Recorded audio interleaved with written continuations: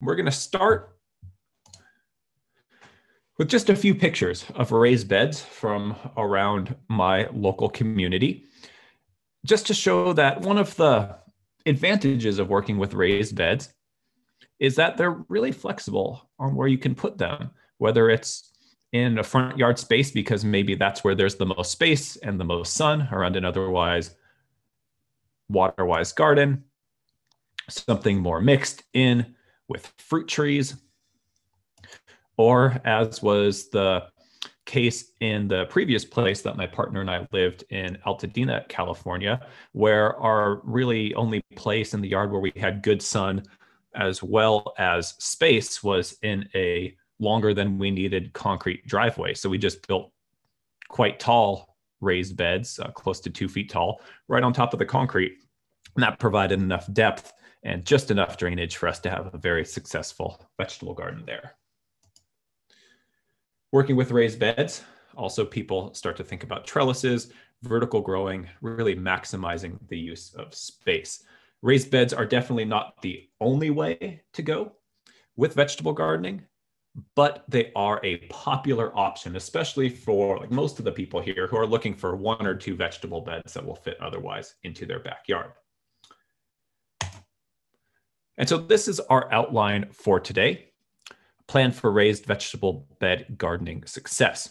We're going to talk about when to and when not to grow in raised beds. We'll cover raised bed construction, the easy and durable way. We're going to talk about seeds, starts, and planting. We're going to talk about water. Understanding water is critical to a great harvest, especially in Southern California. So, talk about watering and irrigation. And then I'll provide some crop guides and other tips. We might not get through all of that because I have a lot in there, but I wanted to include as much as possible so we can maximize the information we cover in the time we have today. And then that PDF will be available for download for you to get the rest of that reference material afterwards. And so before we jump into it, I'll cover a few things. I see some questions coming in in the chat about whether this presentation can be emailed out. For those of you who have joined us since the very beginning, which is quite a few people, you can download all of the slides in this presentation today. I'm going to get that set up online immediately after this workshop at this web address in the lower left, cbwcd.org slash presentations cbwc.org slash presentations. That'll take you to a page where it's just a list of links where you can download the most recent one. It's it's going to be a large file. It might be close to uh, somewhere between 70 and 125 megabytes, even kind of compressed because there's a lot of slides. Uh, so just give it some time to download. Uh, the easiest way to do it in most web browsers is to right click and then do like download linked file as or save linked file as. Some web browsers will want to kind of load that whole PDF into like a new window. If it starts doing that, just give it a few minutes because it is pretty large. And then once it finally loads, you can save it out from there. This is also being recorded and it will, after some light editing of some of the stuff at the beginning, be posted to our YouTube online workshop playlist next week. So if you want to rewatch or share it with anyone else, that'll be at cbwcd.org slash YouTube. And then a quick note about how to best interact with me and ask questions today. Because it's a large group, I don't call on individual people to like turn their audio on and ask questions. We find that there's a lot of downtime with that. And so the best way to ask questions is to type it into the Q&A function in your Zoom interface. And so you'll see there's a little button that says Q&A and it has a couple of little uh, chat bubbles. And so if you click on that, it'll launch something just like the chat that's specifically for Q&A, which makes it very easy for me to keep an eye on the questions coming in, and then I can manage them as I answer them. What I'm going to do basically is keep the workshop flowing, and then as I transition between different topics or subtopics, depending on if there's questions that have come in. I will stop, I'll get through the questions, and then we'll move on. So feel free to type them in whenever you want, but then I'll kind of wait to answer them in groups. Because we have a large group, as we are going to be going through, the questions that I will answer as we're going are going to really be related to the questions that come in related to the exact content that we're talking about if you have questions that are more about like your specific situation, I'm happy to stay uh, even like after the end of the workshop, uh, later than noon, to make sure that I answer all of those. But I just can't stop and necessarily answer those as we're going through the other content because I need to make sure that we cover everything. So feel free to ask me those questions, but probably holding them towards the end and then typing them in during our last Q&A period at the very end would be the best way to go. Uh, so that's kind of questions. If you have other just kind of general comments or anything like that, feel free to type them into the chat like some people have already been doing. Uh, I do always read all of the chat at the end as well as try to keep an eye on that as I go as well. Uh, quick question came in as to whether we're going to talk about types of wood to use. Uh, yes, we will definitely be covering that. And somewhere in here, we'll take about a five minute break or so towards the middle, let people get a drink, use the restroom, whatever else they might need to do for a couple of minutes as we go. And so getting started, might want to cover reasons to grow your own vegetables even before we get into raised beds or not. Because this will help us think about how to make the best use of our precious raised vegetable bed space. Because most of us backyard gardeners are not going to grow all of the vegetables we consume. That's just not practical. Uh, my partner and I have a large, ambitious vegetable garden. We still don't grow all of the vegetables we consume, grow a bunch of them. And so we're still thinking about choosing our crops and why we're growing each thing. Reasons to grow your own vegetables include to have the best possible flavor and the freshest product. The flavor of especially certain things like uh, greens, salad greens for me is always a big one, uh, is just uncomparable when you harvest it right away, bring it into the house, and eat it right away. You can grow varieties that are not available to buy locally or that you can't get in good top quality. So for me, a priority is uh, garlic in our larger vegetable bed because you kind of need a, a large area to uh, to do it. If I just had one or two beds, I wouldn't do it. But the garlic varieties you can grow have such different flavor profiles than just what's available even at the farmers market. Or carrots as well. Sometimes it's really hard to find carrots that taste as good as homegrown ones that really have a a kind of earthiness and a complexity to the flavor. If you are intending to do this and make careful decisions with how much stuff you buy for your garden, you can potentially save money if you are very careful, you can do that. For most people, though, especially if you just have one or two raised beds, that's not a huge motivating factor by the time you take into account all the costs of setting up your system, buying seeds or buying starts. You're generally not going to save a ton of money unless you kind of get to an economy of scale with a large garden. Uh, but there are so many other reasons to to grow, including stuff that maybe you can't get anywhere else and that freshness. If you are one of those people who currently have a lawn in that area and you're thinking about trading it up for a vegetable garden, you can actually save water. So, vegetable crops themselves are generally high water using plants, similar to the water requirements of a healthy, well growing, luxuriously watered lawn. However, most of our vegetable growing areas end up being about 50% pathway in, the, in between the beds and about 50% bed. So especially if you are working with drip irrigation, which I encourage you to do for vegetable growing, or watering with a hose and make sure you're watering the right amount, then you could potentially still grow these high water crops, but save about half the water it would take to have a well watered lawn. However, that's if you water appropriately. Oftentimes, people really overwater their vegetable gardens.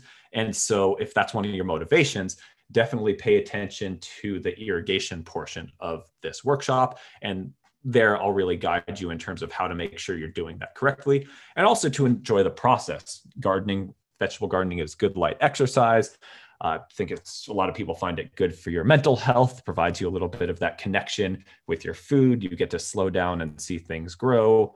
And so it can be an enjoyable process as long as you make decisions to set yourself up for success and make sure that your garden is going to be the right size. It can become stressful if you're trying to do too much, more than you really want to do. So, thinking about what's going to be right for you is critical as well. And also, last but not least, to impress your cat. So this is a cauliflower that was dinner last night for my partner and I harvested fresh from our garden yesterday. But there's also some reasons not to grow your own vegetables.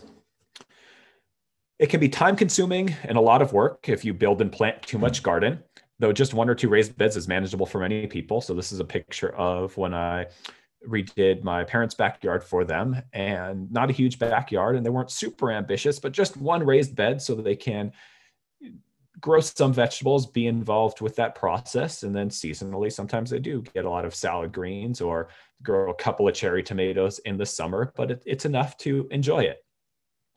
It doesn't necessarily save money versus buying produce. Uh, again, that goes back to being careful if you're trying to save money about, about your expenditures if you're not growing what you want to eat.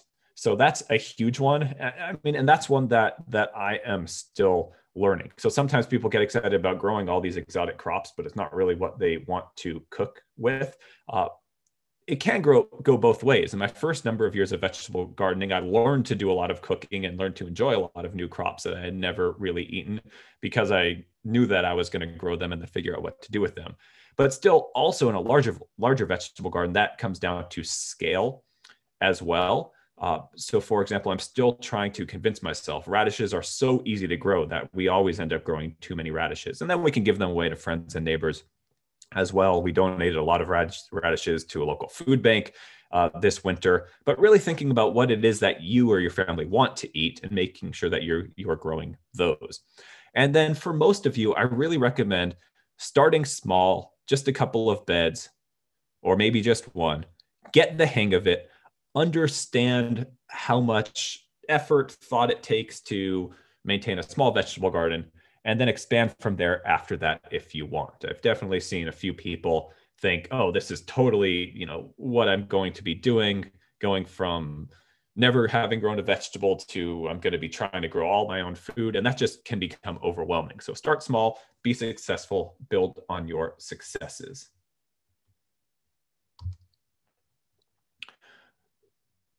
And so just a couple of questions that have come in, and then we'll talk about raised beds versus some other growing methods. Uh, so Robert asked, will this be recorded and available for download?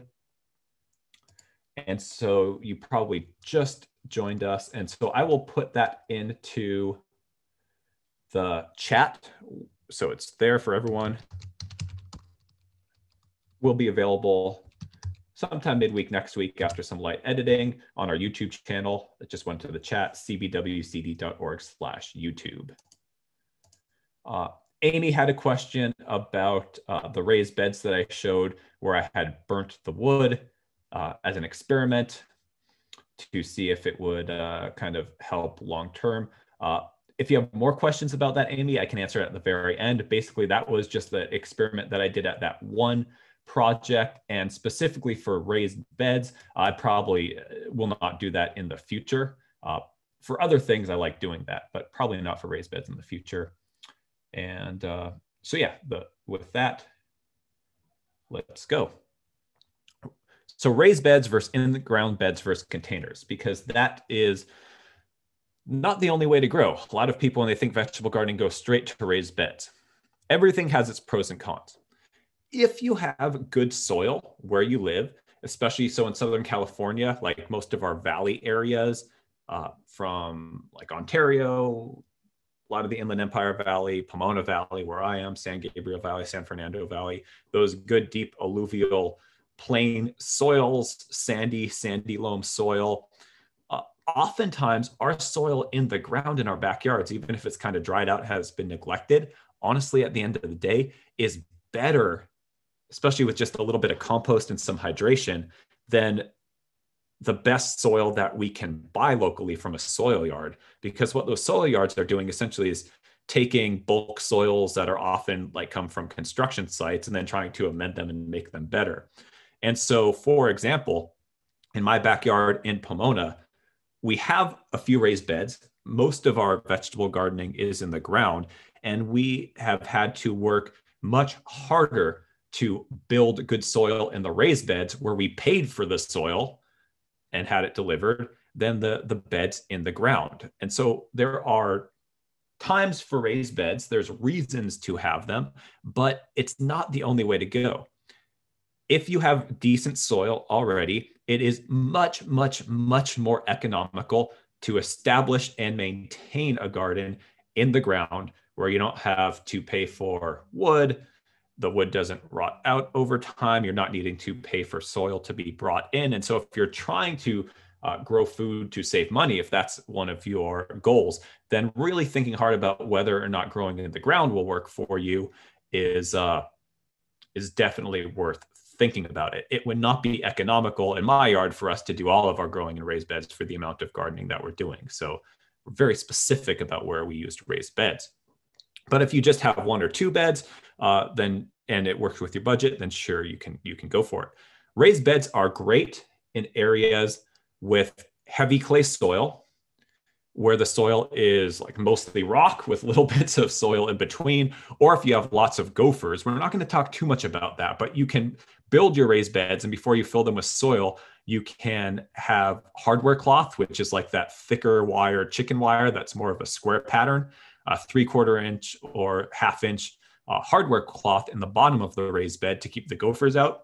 And that makes a world of difference. Even if they get some of the smaller roots that go through most of the roots are still going to be protected. So heavy clay soil mostly rock soil or lots of gophers great reasons to, to go with raised beds raised beds are great for efficient harvest of like small vegetables. So small fancy salad greens like baby greens uh, are great for raised beds.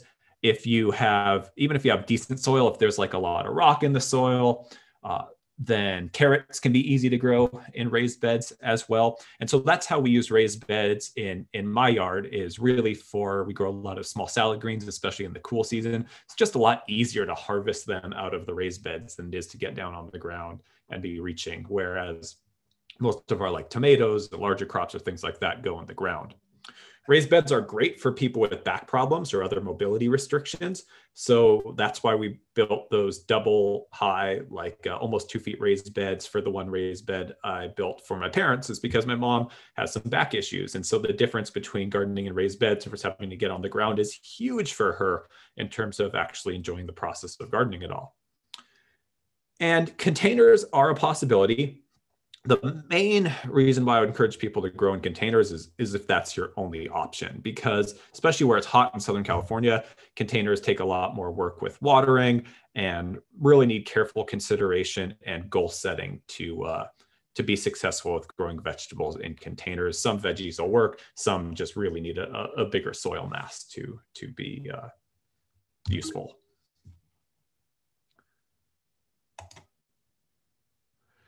Uh, garden layout. There's no one particular way to do garden layout, but here's some things I've noted over time, learning both from my mistakes and other things that I've seen people do. In most cases, like a standard raised bed is eight feet long and about four feet wide. That's not a hard and fast rule. You can have it be any shape that's going to work for you. But the reason why that's kind of become a standard is because it's a very practical shape. You want a certain width and a certain depth to have flexibility to grow a variety of crops over time and enough soil mass. So sometimes I'll see people have like an only two foot wide raised bed, and you can do that, but it's not as flexible in terms of what you can grow in it. And it also, because it's a lot of wood containing not a lot of volume of soil, becomes proportionately very expensive to construct. So you, you, you, want your beds to fit your site, but about eight foot by four foot is kind of standard. It's nice because you can buy a few uh, 12 foot pieces of lumber and have them cut and make that, or eight foot and then another eight foot and have them cut in half. Uh, so it's it's pretty flexible and meets the, the lumber sizes that are sold pretty well. And it just gives you a, a good good amount of space without being excessive to grow in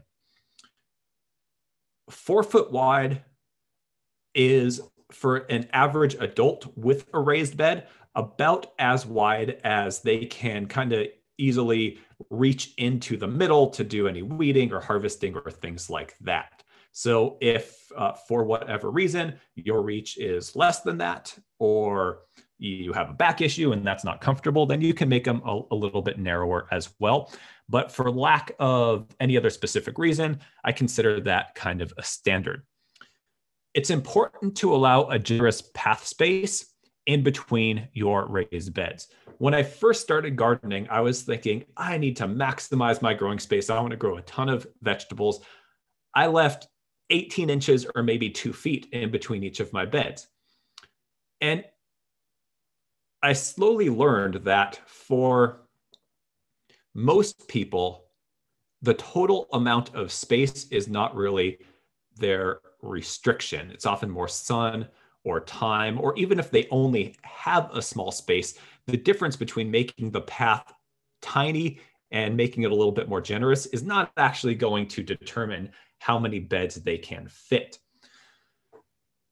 And what I've found is that if you are growing using good techniques, kind of doing the things that we're going to be talking about throughout this class, then your vegetables will be happy. And mid season and into the harvest season, a lot of crops will grow abundantly over the edges of the bed. And if you only have 18 inches or two feet, it's easy for that pathway in between the beds to completely disappear and have to be kind of bushwhacking or breaking branches on your vegetables as you try to go through to harvest or do your maintenance.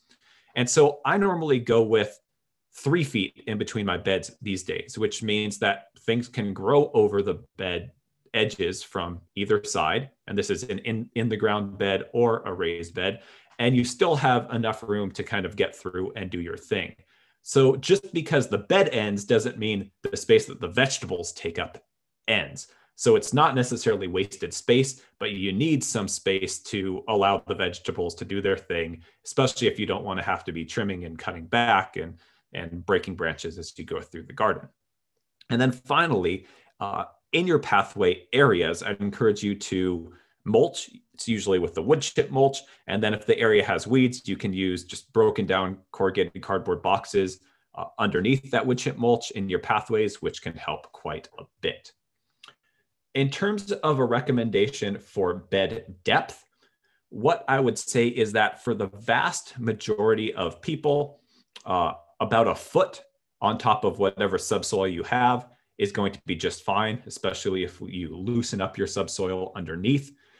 If you have a specific reason and budget to raise those beds higher up, then you can do so. So, for example, here the reason why we went with these double high beds is because they're on top of concrete. And we knew that the bottom layer after irrigation was going to get a little bit mucky, not totally an ideal growing situation.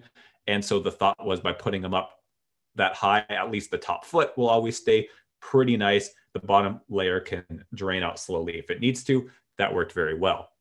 If you have back issues, that double height raised bed, almost two feet, so these are two layers of two by 12, can be very useful as well.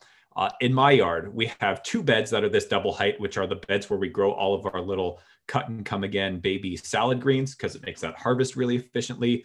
Two beds that are uh, about 12 inches tall, and then everything else in the ground.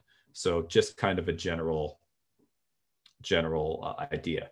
Uh, if you have really rocky ground, most of the primary roots of most of your vegetables will fit in like a one inch high bed. And so it'll just be like the smaller roots going down underneath. So in most cases, I would start with trying to grow in uh, about one foot tall beds. You can always add onto them later if you need to. But remember that a double height bed like this is literally twice as expensive and almost twice as much effort to build as is a bed half that high. So also goes into kind of budget materials, all that sort of stuff, uh, because the cost of setting up a raised bed system can add up pretty quickly. And with that, I think that's a good transition to us starting to talk about recommended ways of building a raised bed vegetable system. I have recently become a convert to a new way of building raised beds which, as far as I know, just wasn't available when I first started uh, vegetable gardening. These days, at many big box hardware stores around here, that includes Lowe's and Home Depot, you can get these things, which are called planter wall block. Essentially, they're, they're kind of made of the same concrete material as cinder blocks, but they are obviously look very different and are for a different purpose. These are for using along with two by six lumber. So they're five and a half inches tall, just like two by six, and have a proper spaced kind of channel that that two by six lumber can slide into for the corners because corners are always the weak spot and the tough spot about constructing raised beds. In terms of building wooden raised beds over the years, I've intentionally, every time I build them, I, I build them a little bit different. And I've been trying to find the right balance between cost of setting them up, simplicity, and durability. Uh, and so I've tried lots of different hardware anchoring options in the corners, different things. And this I'm convinced is by far the best way. I found out about these things right after I built the raised beds where I live now. And I wish that I had known about them sooner. So this is kind of what I teach. So basically, one of these goes in, e- in each corner. And one of these only gets about five and a half inches tall but you can build them multiple. So I'll show some some of that process, and they're not super expensive. They're about two dollars and fifty cents each. So if you end up adding up all of the hardware, if you're getting like nice sized bolts, uh, the wood that would go in the corners of a standard raised bed, and we'll look at some pictures. It it is cost competitive. It also allows you to to uh, use cheaper two by six lumber, which is a little bit cheaper than the standard two by 12 lumber that people normally use with raised beds. So this is often what happens with raised beds. No matter what kind of screws or bolts you use, standard raised bed, as I've long built them and was showed and seen in most examples, you use basically a, a piece of four by four in each corner of the raised bed and you do something to anchor your wood into that. So this is an example where I was trying to do it at minimal cost to see how it would work. So we used uh, standard but high quality uh, wood screws. And what you can see is over time, as kind of moisture and outside conditions have made the wood warp some, it can pull the screw out. At the same time, uh, for example, like when I built a previous set of raised beds at my parents' house. So I've got to kind of study how long those lasted. I used kind of expensive carriage bolts to have a really secure connection. But about five or six years after the initial construction, although the wood on the outside would otherwise be hanging in there and doing all right, this post on the inside has rotted enough that those bolts just can't hold in anymore. The the threads uh, just fall right out, and it'll be a lot of work, probably more than it's worth, to dig the just the posts out and try to reset them and rescrew it with all the soil there. So we're probably going to have to rebuild the whole thing. So this is kind of always where the problem normally starts with maintenance, no matter what kind of wood you use, even if it's like redwood or something more expensive that's supposed to uh, resist rot more. And so with this system, because there's no bolt and because the wood is in this channel, if it warps a little bit, not an issue. If one piece rots over time, you can slide it out and put in a new piece. And so here's just going to be a quick run through of putting it together. And so if you are going for a true four foot bed width, also remember though that because the true corner of this system is going to kind of be like where this hole is that you're going to want to cut the wood or if you're getting it at a hardware store or a lumber yard and don't have a setup yourself to cut it they will cut it for you. You just have to ask. Normally they'll cut it for free if you just need a few cuts. So bring a list of the lengths you need. So remember to cut the wood a little shorter to account for the extra length of the block. Uh, it, it ends up being about three and a half inches less than if it was just like a standard wood raised bed when you add up kind of both sizes. Uh, that's not a super exact measurement, so you can measure exactly yours. Uh, I'm not sure if they come in in different brands, so worth kind of just measuring it and remember it's going to be uh, this length twice because it's both sides. But this will basically get you there. A little bit shorter on each length. So from the four foot lengths, you'd take out about three and a half inches as well as the eight foot lengths. And this builds a about a five and a half inch tall section.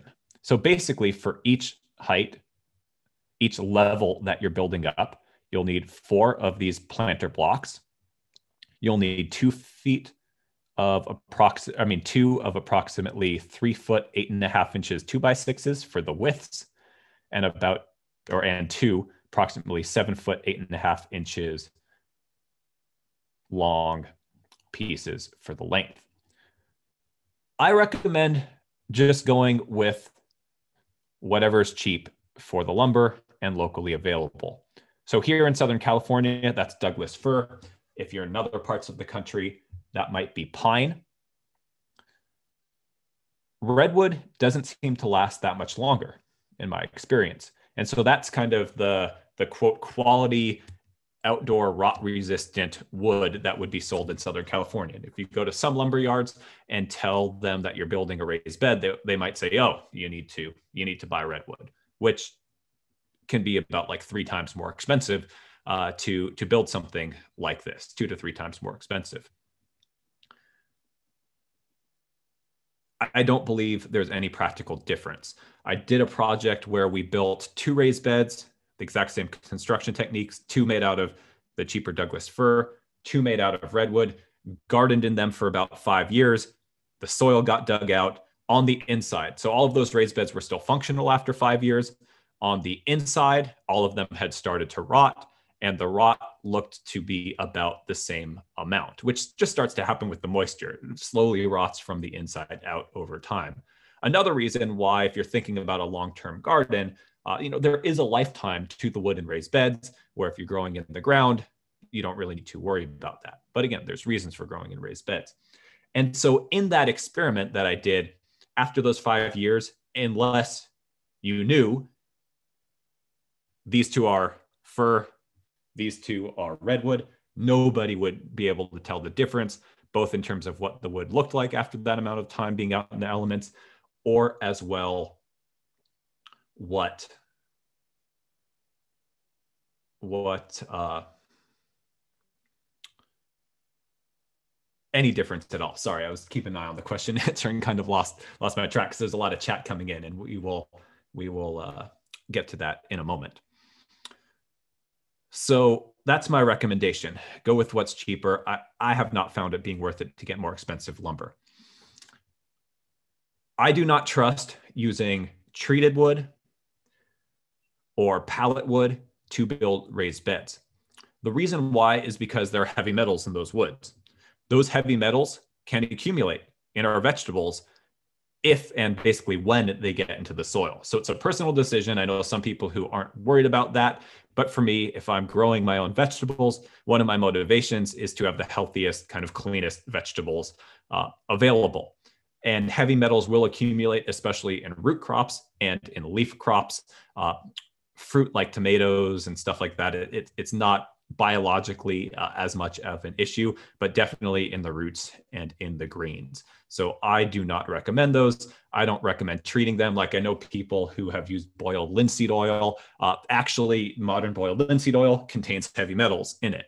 So I just keep it clean and natural. Uh, some people are interested in building like corrugated metal raised beds. I don't recommend that for hot areas like Southern California because of the amount of heat. Roots up against the edge of that bed will fry. So I really like going with this. Uh, so a lot of questions have come in. I guess I'll just say that the last thing is be sure choose your lumber yourself. Look at each piece. Choose straight, non-warped pieces of lumber. And if you're not used to doing that, it can take time people who care about the the outcome of their products will do that. So don't worry about looking funny standing there in the middle of the lumber aisle. Uh, it's very normal. And if you don't like a piece, put it back. Or some sometimes depending on how the the lumber is set up, there's a place kind of a little bit off to the side. Just don't mix everything up, different products. Uh, but but look at one piece at a time.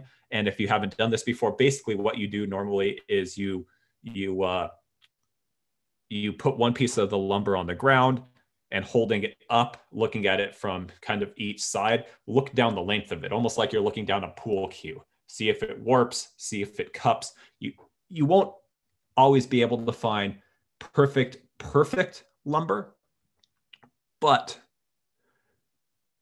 get the best you can and then that will that will do well for you also look at the edges make sure that there's not you know huge cracks or anything like that in today's costs in Southern California, each layer, not including the soil, which will be an expense as well, but just for the lumber, the corners, and everything, uh, will cost about 40 bucks. So thinking about how many layers high you want to go. Lumber is also really expensive right now because there's a lot of demand and the mills had cut back production going into the pandemic, not expecting the demand to be as strong as it has been. Uh, and so because each of these are five and a half inches tall, for a typical raised bed, I do two layers, but if you want to go taller, you can. And uh, you'll see in just a few minutes how you hold that together.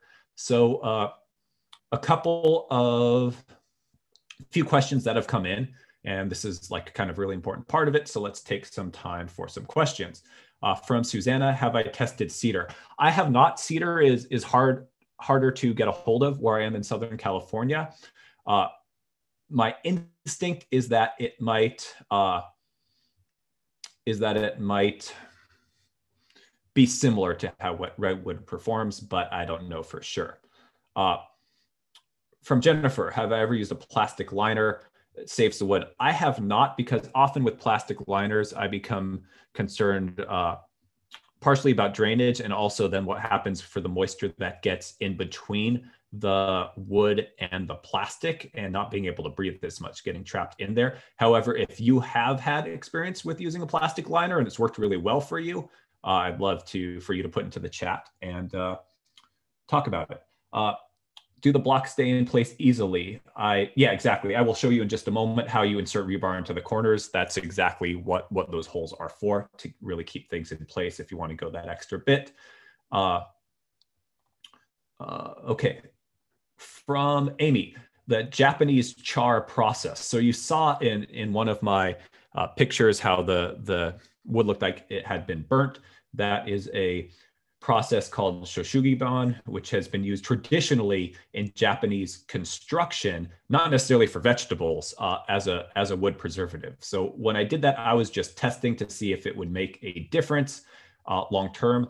I did not live at that house long enough to really know, but I will say it took exponentially longer. Uh, and unlike other construction projects that I've used for fencing or things like that, uh, the ashes get all over the place for many months because you're leaning up against those raised beds. Uh, I, I didn't find any specific evidence that it would be worth continuing to do that. Uh, so I have not done that. Uh, from Sally, can you use Trex manufactured boards? That's like that, that plastic, uh, plastic kind of stuff. Uh, yeah, you can if you want. It will last forever. However, it's going to be a lot, lot, lot more expensive. And I don't think it looks nice personally. Uh, the Trex starts to fade in the sun after a little while. So it depends what your motivations are. But for me, I just I just can't stomach the the look of it. Uh, and the initial investment can be quite high. Uh, okay, let's see. Oh, and then that's also true. Uh, Jennifer mentioned Trex does bend in the heat. So you definitely can't do the thin Trex. You would need, if you were going to do that, you need to get the stuff that's like at least an inch and a half thick. Gets very expensive. Uh, okay, let's see.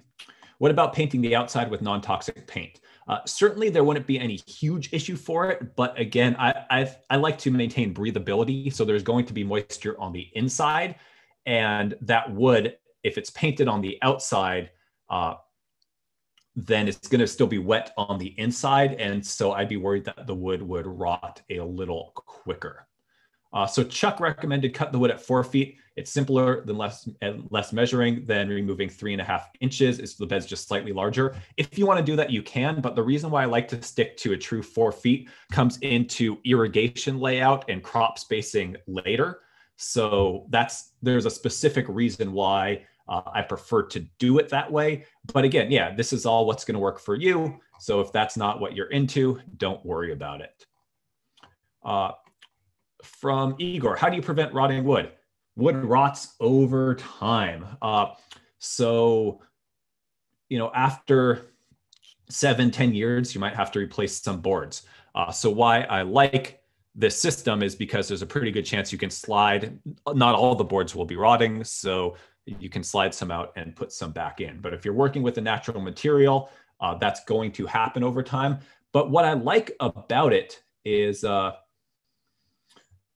what I like about it is that at the end of the lifespan, that'll just rot. It'll compost. You know, the, these cinder blocks will last pretty much forever.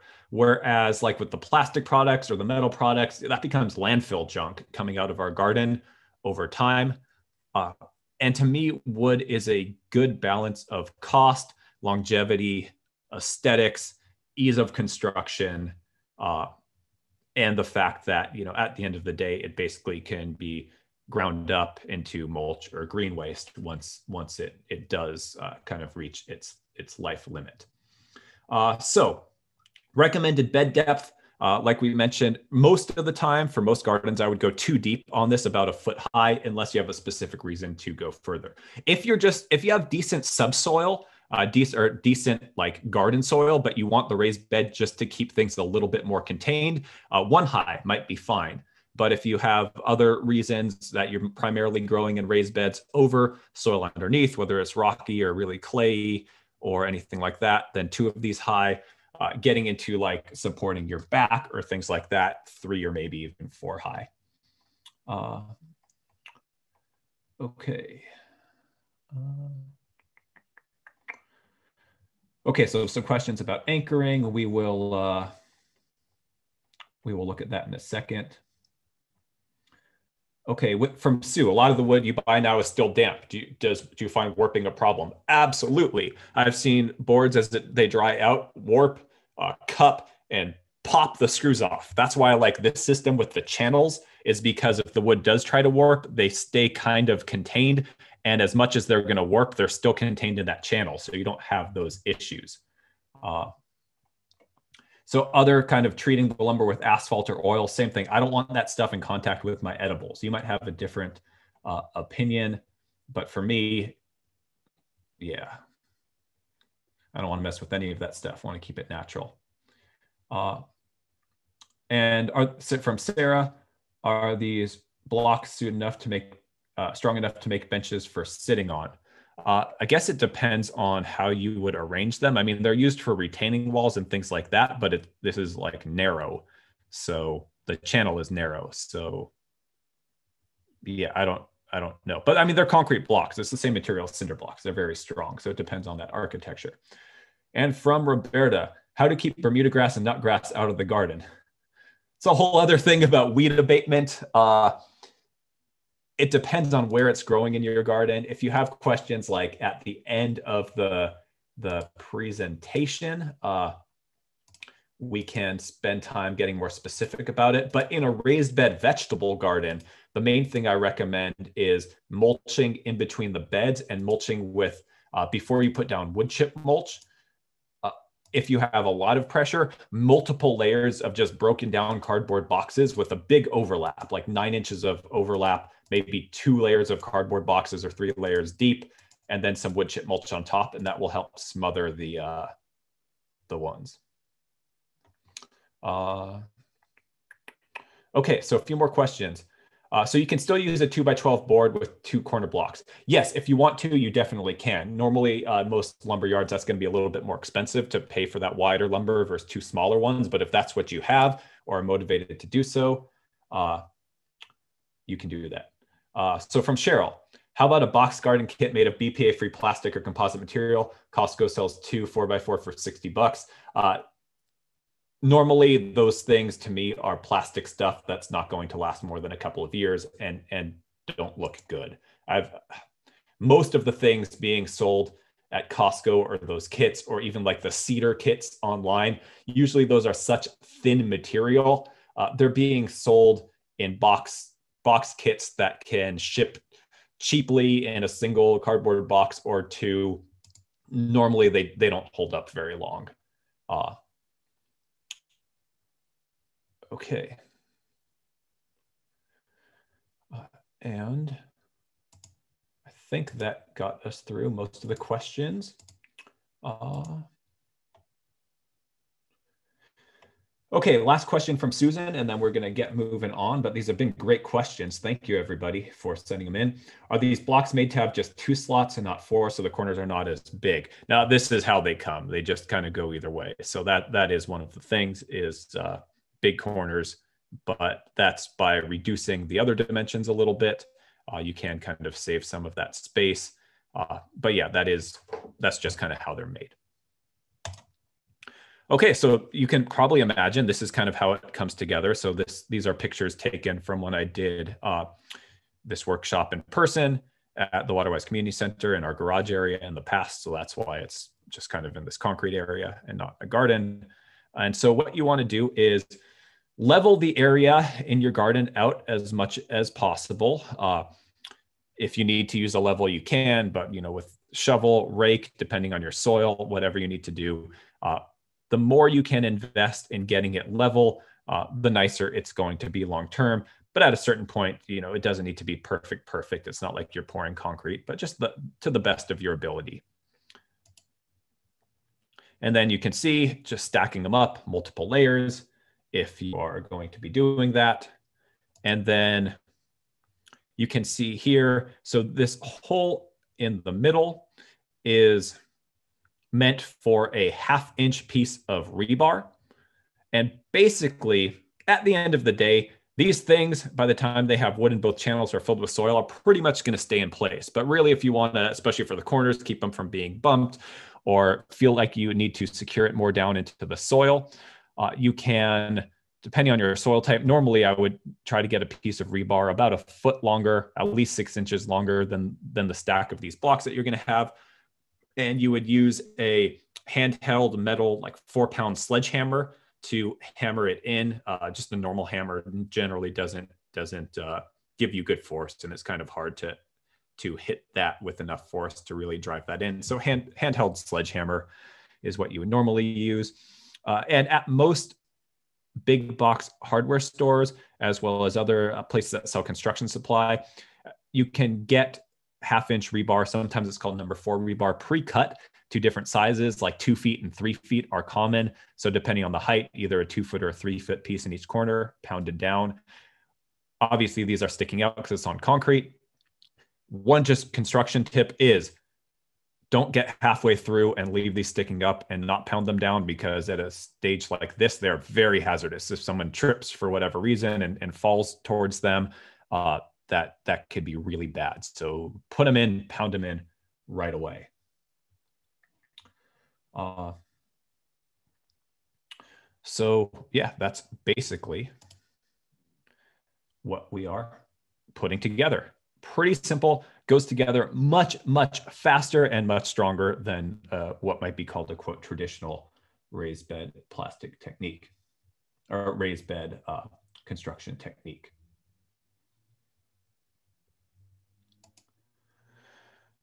So what are we going to fill this with? Soil, soil, or soil? There's lots of different options for what to fill your raised bed with, but they're not always the same. There's no only one way to be successful, but there are some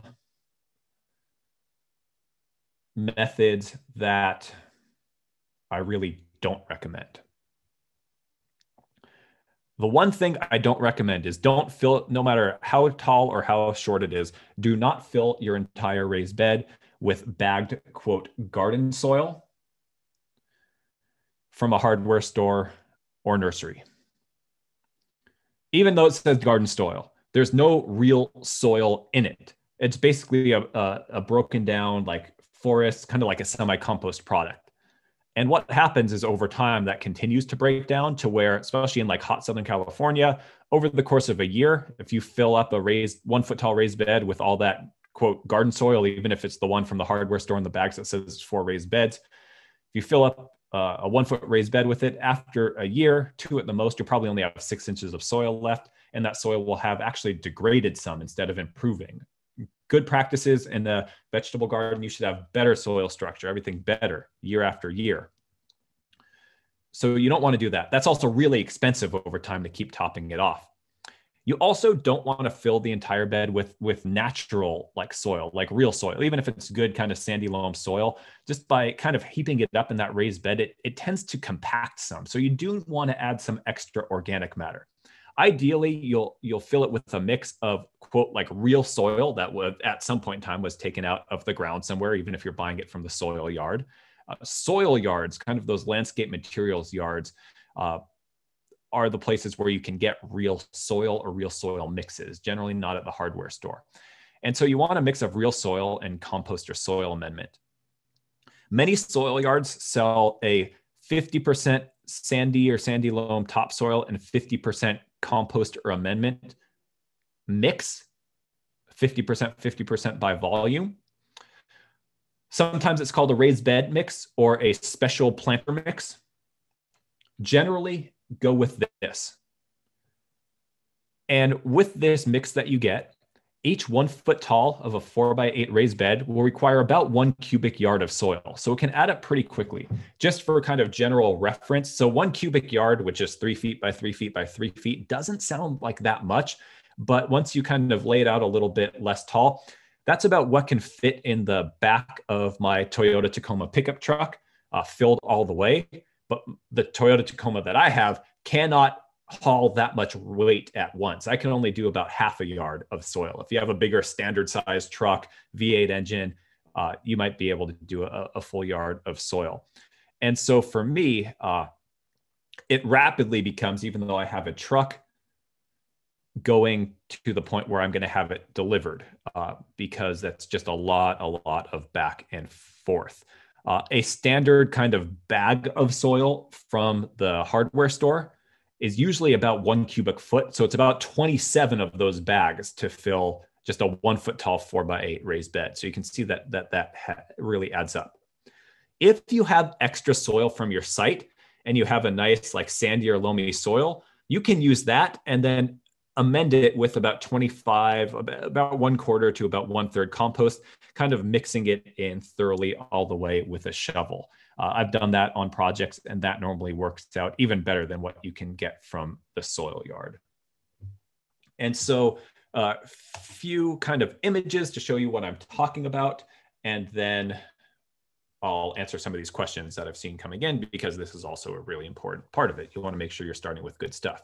And so, this is what I'm talking about for stuff that's not really soil. Uh, all sorts of different brands, but basically, if it's in a, a plastic bag like this, from the nursery or the hardware store. This is not real soil. Real soil has some amount of sand, silt, or clay in it. That's like the scientific definition. Oftentimes, uh, somewhat of all three, and your soil type is, is depending on the mix. Uh, these quote soil products, if you look at the ingredients, and sorry, this is just a zoom in. Uh, from the website. But the ingredients here are aged recycled forest products, aged arbor fines, basically ground up wood chips, then chicken manure, oyster shell, dolomite lime, basically uh, amendments. And so that's all organic. That can be great for soil amendment to add some organic matter in, but it's not what year after year your crops are going to want to grow in. I mean, if you if you're doing gardening in like a couple of containers and fill it up because you're basically going to grow in a pot for a few se- couple of seasons and then need to replace the soil, that's fine. But for really setting up a system that's going to last long term, it's not what you want. It doesn't build over time, it, it, and it'll be really expensive. And so this is kind of like what the mix might look like when it goes in. And in this case, uh, we ordered a 70% uh, soil, 30% compost mix, and it ended up being a little heavier than I was uh, wanting. So we then added some more compost and organic matter to it. And I will show you that process. And I'll also kind of show you some examples of compost and organic matter that might be suitable as we go in this example. But first, some questions. Uh, so some questions that came in from Karen. Could you use the higher rebar to string a trellis? Uh, if you wanted to do something like that, Normally, to really have a secure trellis, you either need a lot of rebar, so you need like rebar going all the way down the bed as well, or normally I'll use something stronger like a T-post. And later on, I have I have uh, I have examples of different trellises. Uh, you might use the corners to set up some hoops if you wanted, but again, uh, kind of images later. Uh, so from Dr. Igor, would, would I please repeat what is the reason I cut each side of the box a little bit shorter? So with those concrete corners, because they are a little bit larger, if I want a true four foot width of my raised bed, then if I have a four foot piece of wood plus the extra little bit of the corners, it's going to be a little bit wider. If that's easier for you, not the end of the world. But when I talk about irrigation and layout later on, it'll start to make sense why, for me, it just keeps it simple to keep it a true four foot width. It's also a little bit easier on the reach because you do add another like close to six inches if you don't cut some of that off, which can make it harder to reach the middle. But it, it kind of all works together as a system. And if it's not important to you, don't worry about it. Uh, so Kate had a suggestion for hammering in the rebar. Use a square piece of wood with a hole in it to slip the rebar on when using the sledgehammer. If you miss, you're less likely to damage the concrete block. Sounds like a good tip. Uh, so question came in about uh, fertilizers, uh, which we will get to in a little bit. Uh, okay, so have a lot of questions coming in in the chat. So I'm going to keep taking a look at these and answering all that I can, but it's easier for me to manage the questions coming in in the Q&A. So for everybody uh, who's putting in questions, uh, if you can click on the Q&A function when you're putting in uh, questions, the where the button that says Q&A and has little chat bubbles, that'll be easier for me to keep an eye on things. It, it just kind of managing it from my side uh, makes it harder for me to miss things. But I'll, I'll answer the questions I just saw coming in on the chat as well. So from Barbara, if I don't if I don't have a truck, my soil is too weed seed fill to use. Are there bag soils I could buy? So a number of soil yards, and those are basically landscape materials yards. You can type into Google uh, soil yard, landscape materials yards, or look in Yelp. Uh, they're basically businesses that sell soil mixes. Oftentimes they'll sell wood chip mulches and gravel as well. And they basically take soil, like often coming from construction sites. Uh, that's definitely in Southern California. And then they'll mix it with amendments to make it suitable for things like they'll have mixes for raised vegetable gardens like this. So different than a hardware store. If you actually visit these places to pick them up, they're basically big dirt lots with piles of material and tractors and machines mixing things.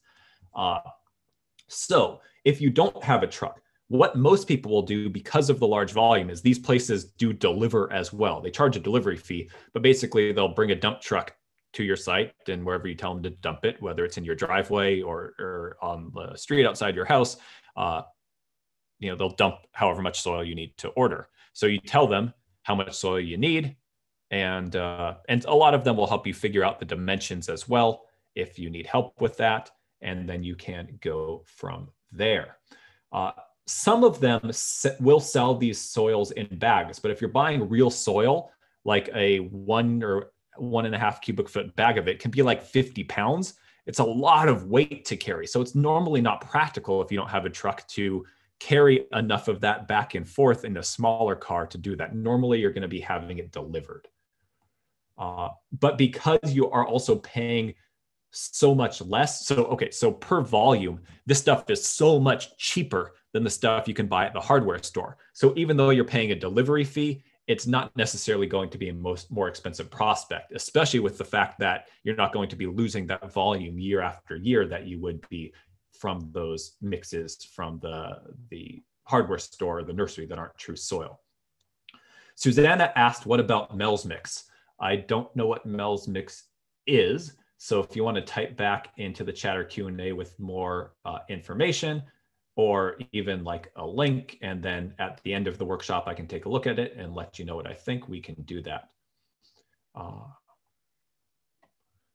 okay. So I saw,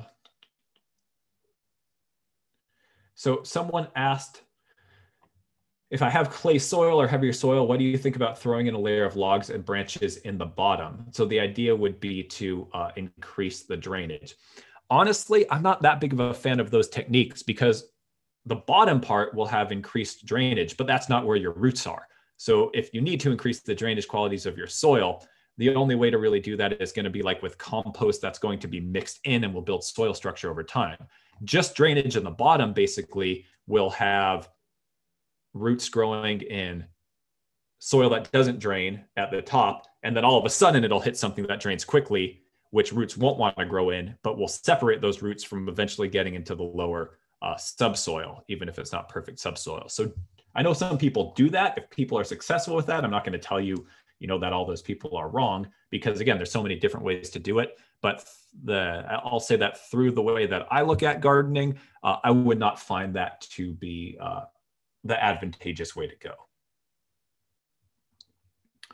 Okay, so let's keep going. So in this example, so we brought in our soil from the soil yard, but still found that, that it was a little bit heavier uh, than we wanted.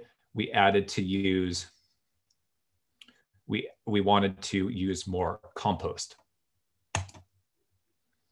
So here is an example of compost. If you live close to us, uh, in kind of the western edge of San Bernardino County, eastern edge of Los Angeles County, we actually have a free mulch and compost giveaway program. Mulch is pretty much always available in our parking lot. You can just come and pick up as much as you you need in a pile. We get a big load of compost delivered once a month. We announce it on our social media, which you can find out about and follow uh, information there's on our website, or you can find out through our newsletter. And this is kind of what we give away. So we added a wheelbarrow of this. Normally, if I'm working with uh, soil that is, you know, kind of okay, but I'm getting my bed going for the first time, I will do a pretty thick, like three to four inch layer evenly forked in. So here is that. Uh, if you're working with raised beds and need to really add quite a bit, two people with the wheelbarrow, just dumping the whole thing in can uh, make things a lot easier. Using a bow rake or a hard tooth rake to kind of rake it out, if you don't have one and you just have like a flat shovel, you can do that. And then we also use some other materials just to show things that can work. This all natural garden soil is basically uh, not quite broken down compost, but then with nutrients added into it. I'm fine with using that as a soil amendment. And to get things going, I'll normally I won't use all like a ton of this stuff, which is kind of a premium soil amendment product because it can get quite expensive but I will use some. And so this is just one uh, that I will use sometimes. And the reason why I will use some of this is because if I brought in soil from a soil yard, which is basically from a construction site, it's been sitting for I don't know how long, uh, it, the soil's kind of been through some trauma. And so in good, healthy soil, there's going to be lots of microbial activity, beneficial bacteria and fungus that have all sorts of benefits in the soil for cycling nutrients, helping protect from disease. Uh, it's just really a, a crucial uh, part of productive soil ecosystems. In normal good soil, like in your yard, that stuff is going to be there anyways. Uh, there are lots of companies making more of a big deal about this and saying you should always plant with it uh, than is really necessary. Because in normal situations, that stuff is generally going to be there is kind of what a lot of studies have shown. But I know this soil, because of it coming from a soil yard and its history, has kind of been through some of that trauma. And I just don't know. So to kind of ensure that things are getting off to a good start, a lot of these premium, whether it's a fertilizer or an amendment product, have these beneficial soil microbes mixed in. Uh, if you are going to be doing this, so for me, I will, I will use this just the first time I am doing doing amendment. I won't be adding the stuff back in every year because if the soil is in good condition, this stuff is just going to continue living there. It's not like you need to keep adding it back in. It's not like a nutrient. Like the stuff will be in there, it will multiply, it'll keep going. If you if a product that has the stuff is reputable, it will literally tell you like how many organisms usually per gram of soil are in there. You don't need to understand like what, but it's basically it's telling you what's in there. Some products will just say like, yeah, it's in there. Take our word for it. So that is just one example of then kind of using a little bit of this, spreading it out, and then forking it in. So if you have a digging fork, that works great. And so what you want to make sure you're doing if you're amending for the first time, the first time you're setting up your beds, you want to make sure that you're mixing this stuff in uh, evenly throughout the whole depth of at least the top foot of your raised bed. If you have a two foot raised bed, it's not going to be practical to go all the way down. Eventually, some of that organic material with worms showing up and stuff like that will mix itself in. So, about a foot down is practical. So, with a digging fork, like the depth of the digging fork, and you want to make sure you don't just lift it up and invert it. So, all the amendments at the bottom and the soils at the top, you want to kind of shake things around uh, so that it all gets mixed in. So, you can do that with the digging fork or with a flat shovel. If you need to, I prefer the fork, but if you just have a couple of raised beds, you might not want to buy one. And then you'll end up with something like this, which then you want to rake as evenly as possible. You can use the teeth of the of the rake to kind of break up the clods, just kind of like up and down with the rake, kind of breaking them some, uh, raking them to the side. You don't want to pulverize everything so that it's tiny, tiny, tiny. Uh, you can leave some, but just kind of getting it like that. And at a certain point, you'll go from using the teeth of the rake to go to the back to kind of smooth it out some. And so I see a lot of questions coming in. What I want to do is get through nutrients and fertilizers uh, because it's also kind of related. And then I will get back to answering the questions that have come in. So nutrients and fertilizers.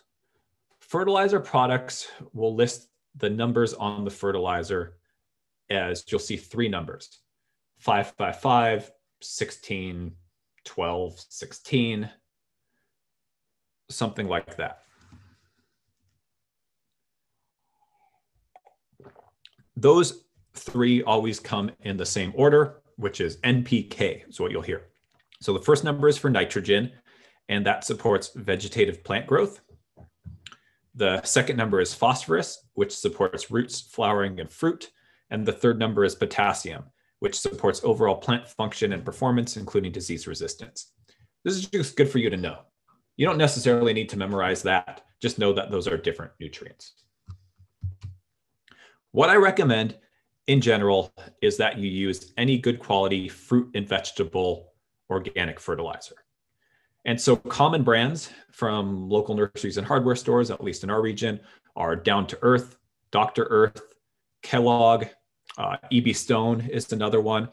And for those organic fertilizers, the numbers are going to be something like 444, 462, 463 for that NPK. That's kind of the range of an organic fertilizer. So you'll see like Miracle-Gro 12, 12, 12 or something, you know, 20, 20, 20, those really high numbers. I do not recommend those for home gardeners for a number of reasons.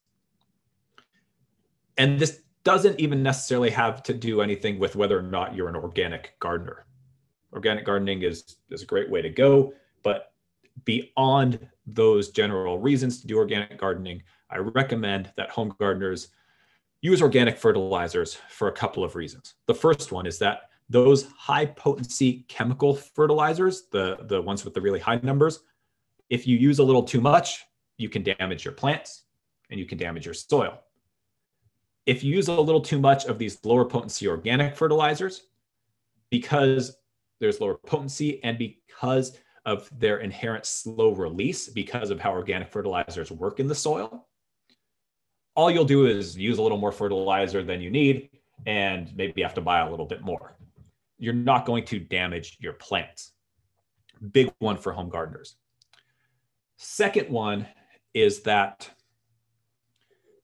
the chemical fertilizers are proportionately that fertility is like ready to go instantly available in the soil in a more water soluble form and then can be washed out of the soil much quicker with irrigation or rain, which, depending on where you are, could cause nutrient runoff issues and water pollution issues.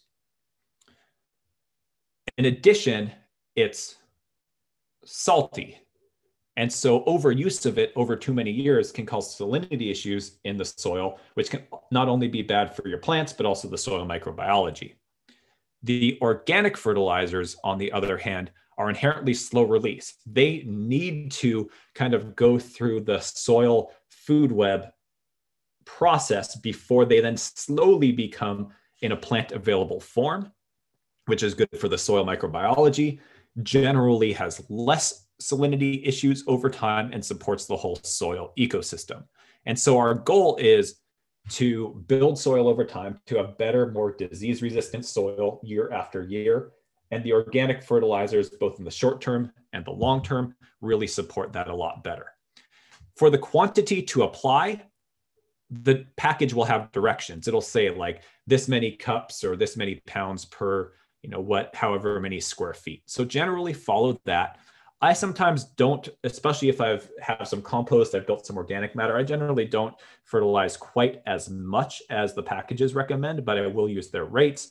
Generally, what I'll do is I will fertilize like right before or during the planting process, and then I will do it again mid-season to give the crops a boost. Generally, uh, that's I'll, I'll fertilize twice a year.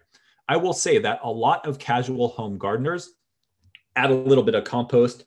Maybe they're composting some at home and call it a day on soil fertility. And they don't use fertilizer like this or have like any schedule like they're going to do it at planting and partway through the season. I think that and that kind of attention to soil fertility as well as watering in Southern California are the main barriers between casual gardeners really getting good production. This is not scientific. This is just kind of based on my observations over many years and working with many gardeners and answering lots of questions. Your natural soil in your area might be different than ours, but if you're in Southern California, whether you're gardening in loam or sand or clay, most of our soils have pretty good nutrients in everything except nitrogen, which is very critical for making plants grow. And so even if we have our compost, especially if you're home composting or even if you buy compost, there's a lot of great micronutrients. There is some nitrogen, but you generally don't know exactly what the nutrient qualities are of that. And so using a balanced fertilizer, kind of a gentle organic fertilizer like this sort of stuff, is kind of the insurance that you're going to have everything you need, including the nitrogen. I've done lots of soil testing on different projects that I've done in Southern California over the years. And in most cases, uh, that's basically what we find is that it's pretty good on things except for nitrogen. So that's where that fertility comes in. If you are growing in an area where you think there might have been like lead paint nearby based on the age of the property, location to the house, a site that used to be an industrial site or something like that, definitely by all means send in a soil test. They'll tell you what you need in terms of amendments, but also they will tell you uh, if there are heavy metals or other toxicity issues if you ask for that test. And where you send it's going to be different depending on where you live. Uh, here in Southern California, there's a soil, I think soil and plant lab is a main one in Orange County, and there's Wallace Laboratories in El Segundo are our two main ones. But again, it's going to be different depending on where you are. But you can generally look up like soil testing and your location in Google and find some options. So this just happens to be one example of uh, fertilizer that we're using. Again, it has this stuff in it. Most of the organic fertilizers will have some of these beneficial soil organisms. And then you can see different instructions. And if your garden is mixed, they won't all give you like different instructions for different uh, crops. But you can see it kind of mixes one cup per 10 square feet of growing area, one and a half cups. So you know, go somewhere in between or just do it at a little bit higher rate. Since most of the time you're eventually figuring it out by cups, I just keep a measuring cup in with my fertilizers, kind of sprinkle it out and just lightly rake it in. And then gentle watering just to kind of activate everything.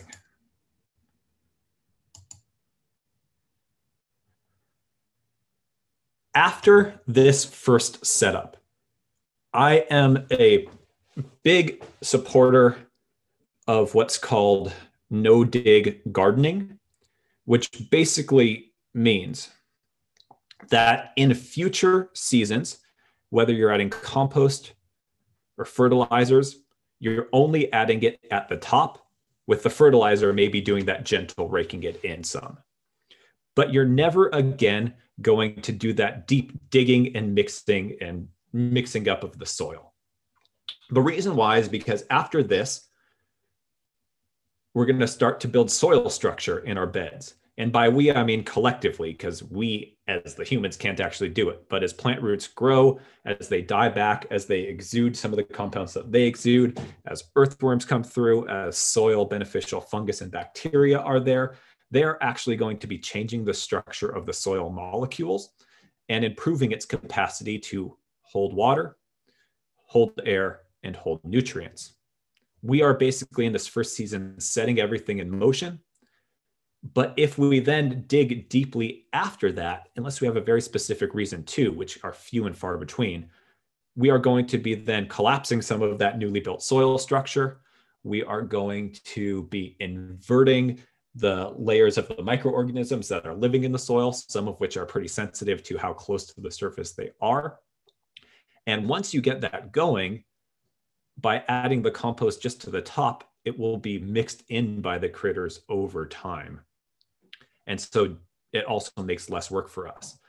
Occasionally, if there's a specific reason, you know, if you think after the first year, I really do need to try to get some more organic matter in deeply, uh, you can do that. But but what you want to try to get to is get to the point where you're not digging each year. That's going to be the only way to really build that optimal soil structure, and it's less work for us.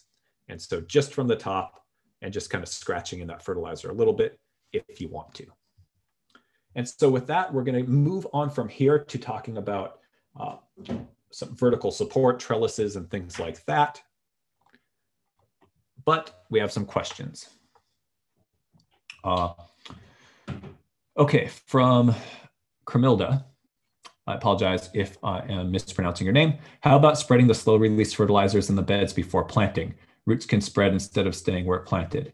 Uh, yes, absolutely. That's exactly what I do. So this is leading up to planting. And so when I do spread fertilizers, uh, I will generally spread it over the whole bed to be fertilizing the whole bed. Uh, the only exception to that is with tomatoes. I might toss in a little bit when I'm planting uh, just to give them a boost, but generally, just like this, spreading it over the whole bed.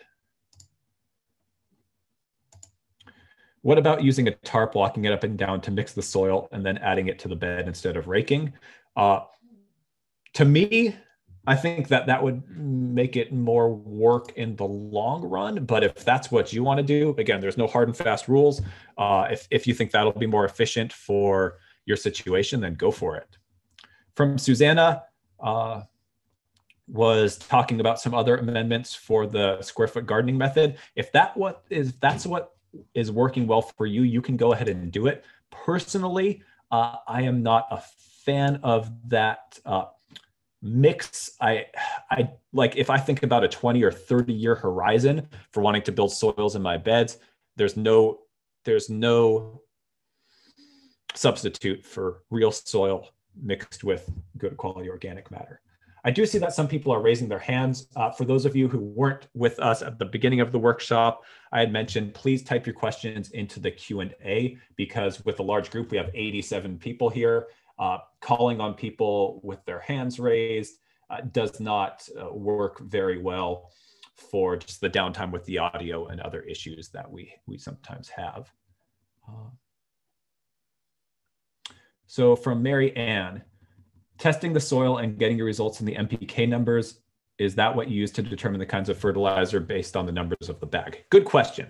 So this is where I think like agricultural theory uh, meets like what we actually would do as home gardeners. I certainly have had projects, especially like big, like if I'm planting a hundred fruit trees, certainly get your soil tested, see exactly what that soil needs.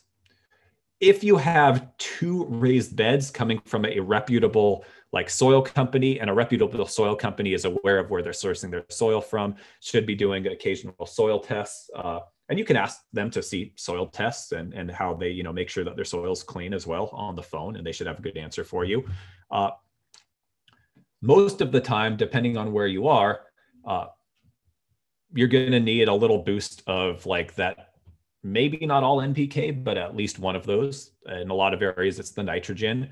And it's not practical for most home gardeners who just need like one little box of fertilizer a year to source out like instead of a general uh, vegetable fertilizer. Well, if I only need nitrogen, I'm only going to get like cottonseed meal, for example. And then can I get organic cottonseed meal? And then that one thing, which is a specialty product, is only available in the 50 pound bag. And so, normally at the end of the day, if you just have a couple of raised beds, maybe test it if you're you know really concerned about building all of that the first time uh, some people will, some people won't, but you, you don't need to do it on a regular basis. Each soil test is going to cost you 70 to 100 bucks. And so, again, it's the whole like, what are you putting in? What are you getting out of it? If you are going to be growing all of the vegetables for yourself and your family and raising kids in that critical kind of nutrition time of their, their life, then yeah, make sure you have everything uh, in that soil.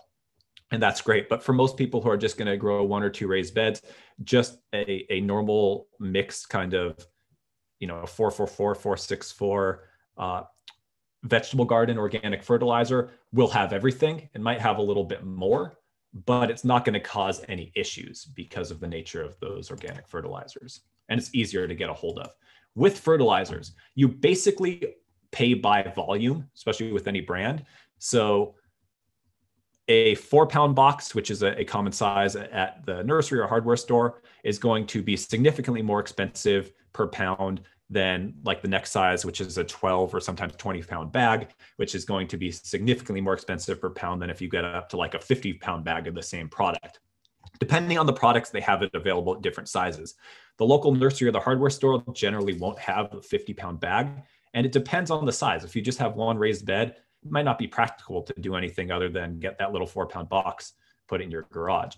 Because my partner and I have a large uh, vegetable area, we will actually special order uh, 50 pound bags of a brand that we like, which is available at the local nursery, just not as large, through a local hydroponic store, which happens to carry that brand, because it is so much cheaper to buy it in the 50 pound bag. And then we will take it out of that and put it into five gallon buckets with uh, lids that fit well. So, you know, critters aren't attracted to it because sometimes critters can kind of smell it be attracted to it. And because we have a large uh, garden, that saves us quite a bit of money on the fertilizer. Uh, and then last question on fertility, uh, that uh, do you ever use any type of aged manure for increasing nitrogen levels? Uh, so some people, I mean, you can do that. With manures, you need to be careful. They can be very salty, so the age definitely helps. Aged and leached with water uh, is even better, but it depends where you are. So if you're in an area where you have easy access to it, something worth considering. If you're in the Southern California suburbs, uh, I would not bother seeking that out versus using the organic fertilizers for those nitrogen levels. Uh, Okay, and uh, last question from Connie. There are a lot of small roots underneath the soil from previous plants if I don't dig deep. Do I just leave them there? Good question. If the roots are small enough that they're not going to cause a problem with future planting or seeding, and you haven't been dealing with any like real disease issues, absolutely, I leave them there. That's compost in place. It'll just rot down over time, add organic matter to the soil. So oftentimes what I'll do is like if I'm removing tomatoes, squash, something like that, I will use either a shovel or more often like a lopper uh, to just cut the, the major roots and remove it. And I'll leave all the small roots in the ground to rot down. If when I'm planting, there's a little too much in the way, I'll just dig out a little bit more. But in general, by the time I am doing my replanting, uh, there's not that much, even if I'm just like going into the next season just if there's stuff in the way. Other than that, that's all fertilizer in place. And that's how I get some of that deep organic matter because I'm no longer turning the soil is by leaving plant roots to break down. Okay, so what I want to do is get through, I think, just this next section about planting uh, for vertical support and growing, and then we will take our quick break because we still have so much to cover, a lot of great questions, but we need to keep going to make sure that you get all the information that I uh, want you to be able to have. So if your plants are going to be growing well in your raised beds and you're growing larger plants, especially tomatoes, cucumbers, pole beans, uh, even some of the smaller melons or squash that can be trellised up, peas, you're going to need to really seriously plan for some support. The stuff that they sell at the hardware store in the nursery for trellising, usually in the nursery aisle, isn't worth that much. Like tomato cages, if you have healthy tomatoes, they're useless. Your tomatoes are going to want to get six or eight feet tall. Uh, those little things don't do much. And so plan for support and vertical growing. You can get great stuff at the hardware store for that, but it's not going to be in the nursery aisle. Normally, it's construction materials. And it's worth it to invest in sturdy materials that are going to last. So, things like working with T posts, which I'll show you in a minute, they are cattle panels, real lumber, like four by four uh, lumber, deer fence, concrete reinforcing mesh, or even thick bamboo or rebar are good materials to work with. If you're working with T-posts, which I'll show on the next slide, make sure you're going to want them where you put them in because they are hard to remove. And so this is one of the raised beds in my yard, and this is our trellising system. So these are T-posts. They're called T-posts because if you're looking directly down on them, there's it kind of forms a T with the steel. They're hit in with a metal post pounder, and they stay in place. They have like a little almost like shield or crosspiece on the bottom that really anchors them in, and they are very sturdy. You can get them at the local hardware store, but sometimes you actually need a, a taller one. Uh, they often only have them like five or six feet at the local hardware store to get enough sticking out to really cover my trellises. These are shorter, but sometimes for taller ones uh, around me, the Tractor Supply Company, which I need to drive a little bit farther out of my local area into a, a little bit more agricultural area. Uh, for those of you in Southern California, I go to the one in Norco. I uh, you can get them like up to 10 feet tall. I end up using eight foot ones for my taller trellises. And then this is also from Tractor Supply Company. It's called a cattle panel. And it's basically just a kind of thick welded wire. And it comes in these panels like this. So they're already pretty straight. I used to build these with deer fencing, which you can get a roll of at the hardware store, but then you need to roll them out, kind of straighten them up, and they're a little bit uh, less thick in terms of the metal. If that's what you have access to, go ahead and go for it. I, worked with those for years because I used to work, uh, live when I was living in Altadena. I just had to drive really far to get these kind of more agricultural supplies. Uh, so use what you can, but what you're thinking about is something with with a heavy, you know, as heavy as practical gauge of metal and a large enough opening so you can kind of reach your hand through to harvest from either side or kind of tie things up pretty easily because the weight of productive vines will, will get pretty significant. And also these thicker materials aren't going to rust out right away. They will last for years. And so what I do is in my beds where I might not want to have a trellis all the time, I have these sturdy T-posts and then I just wire them on in the corners. And then the T-post will always be there. I can remove the trellising as I want, or if I'm doing a crop rotation to not grow the same plant in the same bed every year, we can move around which beds have the trellises, but leave the posts, which are a lot of work to get in and out. Someone asked what this white flower is. This is just what happens if you let a carrot grow up and go to flower. And we'll always leave a few of those because the beneficial insects love them. Uh, so these are just carrots that from the last year doing that kind of grew up in the path and we just left them for flowers because they're pretty. The birds like to eat the seed, beneficial insects like them. And then we'll harvest some of the carrots that just grow up here and there randomly and leave some to flower. So that's one example. Here's another example that is quite nice. This is probably used for growing squash, like up and over. These are concrete reinforcing mesh, I believe. Uh, so that's like a slightly lighter gauge than the cattle panels, uh, but more readily available, normally in the concrete section of the hardware store. different sizes, pretty easy to cut with a wood frame. Here's another example of this is a really nice, really thick, some sort of agricultural uh, like fencing panel that this is just the garden I saw in Northern California, still using T-posts. You can see they just tied it on with twine. I wouldn't know where to get this exact product, but if I did, uh, then I'd probably buy it. So it's just about what, what you have available to you. So what I'm going to do is now it is 1050. Let us take just a five minute break. Okay, welcome back everybody. So let's start with some questions and then get back into it. So from Karen, if my bed is next to a wooden fence, what's the best way to use the fence itself as a support? Good question. Uh, it's going to depend on where the posts are. You're probably not going to want to rely on like the individual fence panels uh, for much actual support because oftentimes they're just nailed in, and if there's much weight on it, they could like pull them out. But the fence itself is probably supported by either like four by four or metal poles. And you can use that. If you want to, you can get some eye bolts into that or some other sort of bolting or even like another four by four out on the side, just something to anchor into that. And you can pull wire across or use that to put up some, one of these sort of like uh, fencing panels. That would be the sorts of things I would start to think about. And remember, if you're gardening right up against the fence, you probably don't want to do a four foot deep bed because you can only reach from one side. What I would do is either a two foot deep bed or sometimes what I'll do to make it more practical if you have room is a three foot deep bed up against the fence and strategically put stepping stones like every number of feet. So you have a spot if you need to get one foot into there. It's just you're it's always the same spot. You're not compacting the soil and you can just kind of get part way in and do some other work.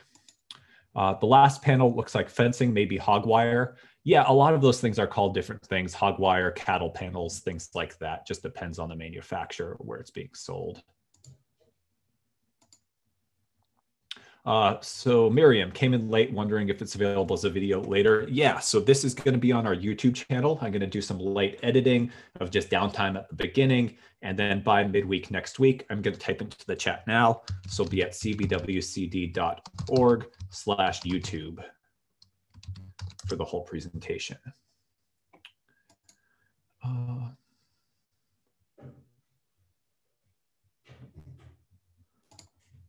so from Sarah, a question about roots.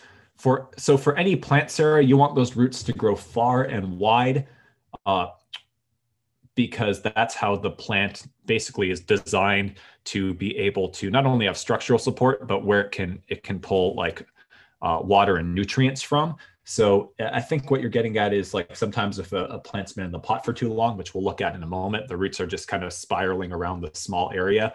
Uh, yeah, it, it, that's just not how roots really uh, work. And it can kind of basically strangle itself instead of going far and wide, getting the water and nutrients it needs. Uh, so from Connie, if I leave the small roots in the soil, the soil will eventually be filled with all of them. As a result, there's no soil for the plants to grow on. Do I keep adding the soil every once in a while? Uh, the small roots, if everything is going well, those small roots in the soil after no more than a season are going to rot. They're going to break down. They're going to turn to compost.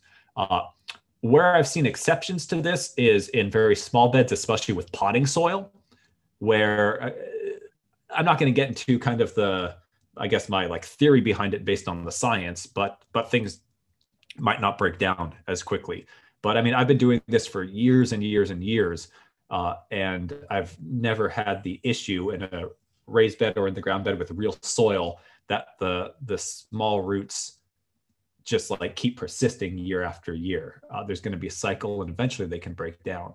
And then the soil, you shouldn't have to add more soil. Again, if you're not working with just the potting soil, if you're working with the real soil, you might add compost every once in a while just on the top to kind of add a little bit more organic matter, uh, keep the biological activity ha- happy, but you shouldn't be losing volume as well. Uh, but if there's ever too many roots in the way, you know, dig some out. That's fine. Uh, so here in Riverside County, if I plant a raised bed right up to the property divider cement block wall, will it burn the plants in the hotter weather?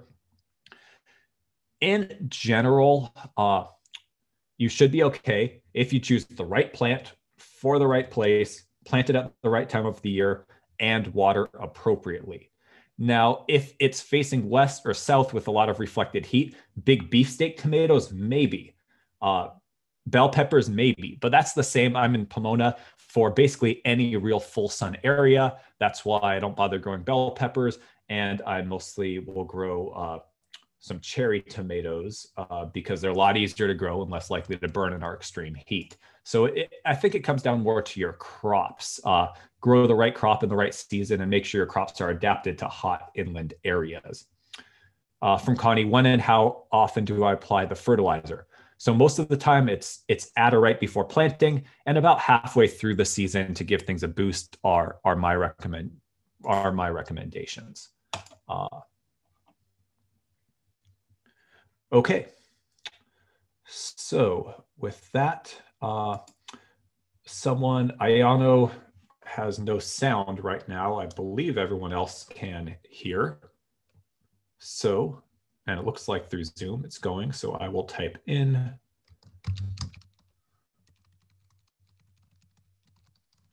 Seems to be working.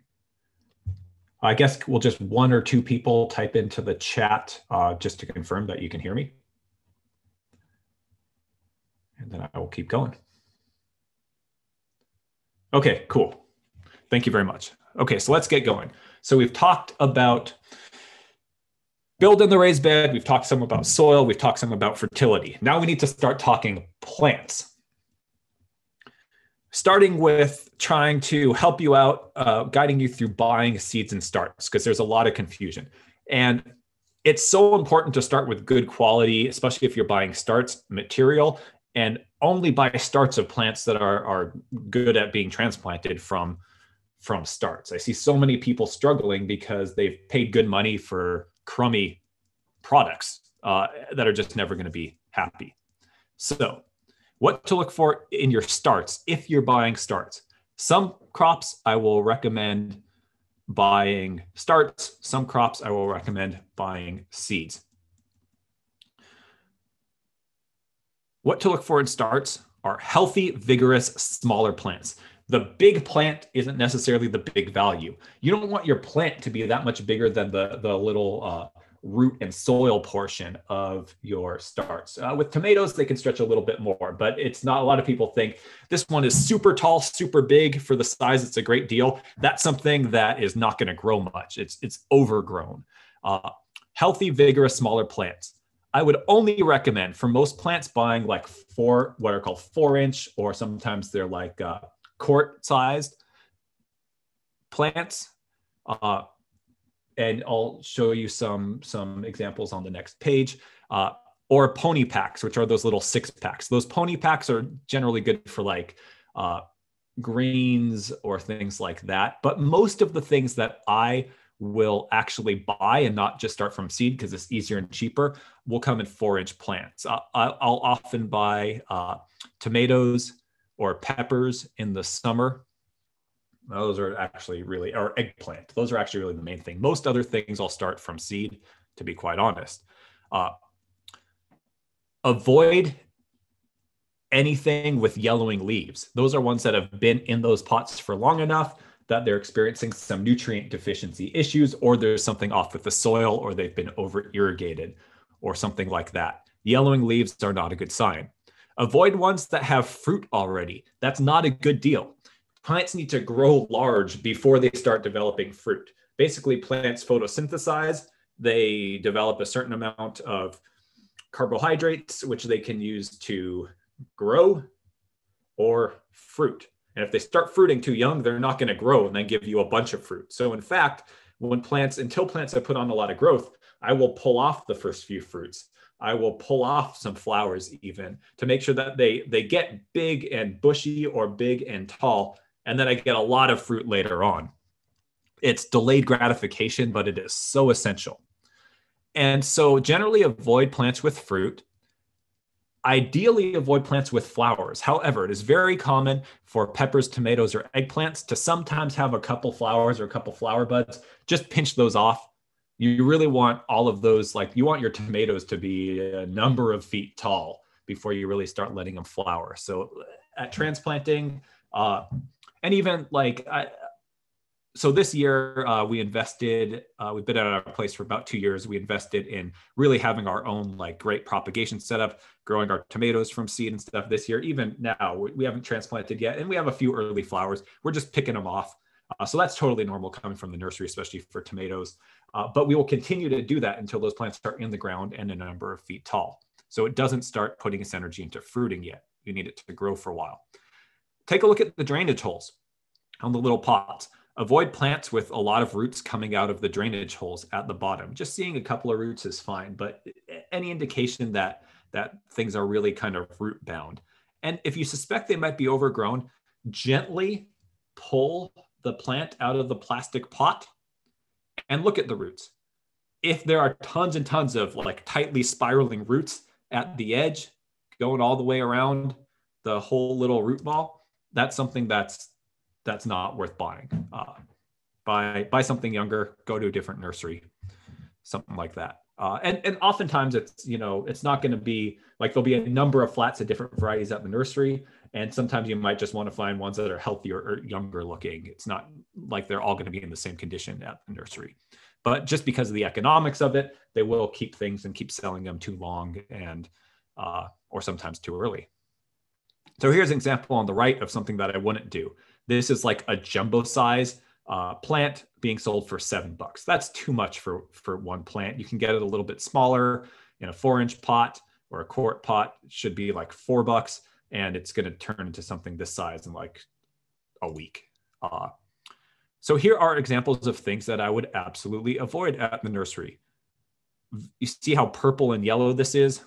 That's a nutrient issue. And that's not because it's this one's certified organic. That's just because it's not been grown in good conditions or it hasn't been treated well when it's at the nursery. These were examples of the nursery section of a big box hardware store. Uh, pepper leaves already showing some signs of uh, early disease. Skip it. You want only bring healthy plants into your garden. Uh, here you can see undersized. Here you can see on the right uh, a little bit oversized, maybe not the end of the world specifically, because just a trick for tomatoes, you can pinch off the side uh, leaves and plant like even up to, if you can see where my mouse is, like even up to here in the ground, because all the little hairs on the tomatoes are fuzzy. All of these will turn into roots. You can plant them deep. Uh, and one thing I would absolutely avoid here, they're advertising this is grown with Miracle-Gro. that means that in the nursery, it's been getting a ton of fertilizer. Once you put that into the ground in your healthy organic system, it's going to be more of a slow, steady release of nutrients, which is good. If you put these plants that have been grown with all this Miracle-Gro in there, they're going to sulk because they, they're, they're kind of like all juiced up what that means is that you have to keep putting the Miracle-Gro on, keep putting that Miracle-Gro on. And sometimes when you do that, there's too much fertility. You get a big plant and not a lot of fruit, anyways. It's not good for your soil long term. So to me, even though they're advertising this, that means I'm staying clear of it. Uh, thank you for the comment from Camille, Camilda. She recommended that people don't buy plants at big box stores, support local nurseries. I always uh, recommend that as well. Depending on where people live, they have uh, different opportunities to do that or not. Uh, so here, this is, again, I would not grow this. I would not uh, purchase this plant. These just happen to be all from one trip and I was trying to get good pictures for this presentation. Like this grown with Miracle-Gro thing, enough for me, non-starter, not gonna get that plant. But just to look at the size and the color of the plant, this is about what you're looking for in terms of a, a four inch tomato plant. But uh, yeah, local nurseries, if you can buy plants grown organically, that's ideal. Sometimes you can't always do that. Uh, local nurseries, good quality, is what you want to go for. So I mentioned some plants are good to plant from starts, some plants are not. Many plants that will be sold as starts are easier and healthier to grow from seed. So, for example, beans, peas, zucchinis, squash, melons if you're going to grow melons. Uh, all of those plants, not only zucchini, all of these plants not only hate root disturbance, which makes them harder to transplant, they're all extremely easy and extremely fast to grow from just sticking the seed in the ground at the right spacing. So I will always do that and always recommend it. It's cheaper, you get healthier, more productive plants. Now, some of you will probably say, well, I bought those before I've been successful. If that's the case for you, I'm not telling you you can't do it. I've seen it happen, I've seen it be successful. But in general, they're harder to transplant, they thrive less, and they're just so easy to do from seed that there'd be no reason not to. So, sources for seeds and starts. For a small casual gardener, for growing things from seed,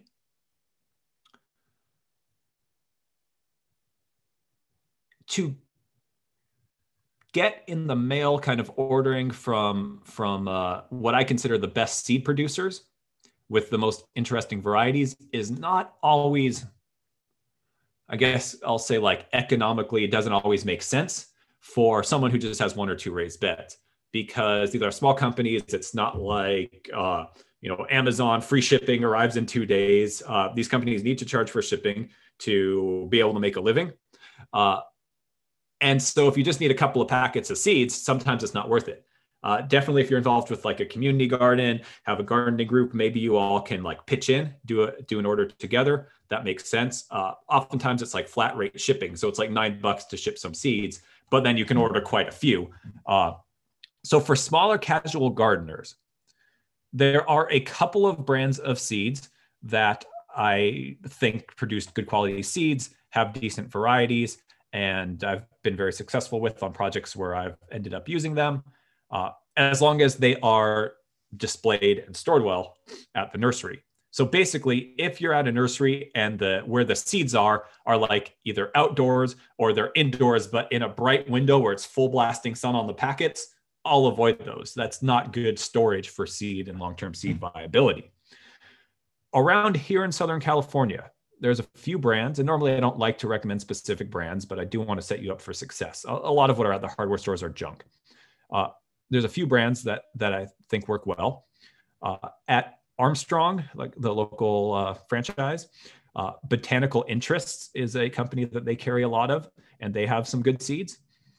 Or other local nurseries, sometimes Botanical Interests or also Renee's Garden Seed are both ones that that are you know they do a good job uh, I've been pretty successful with.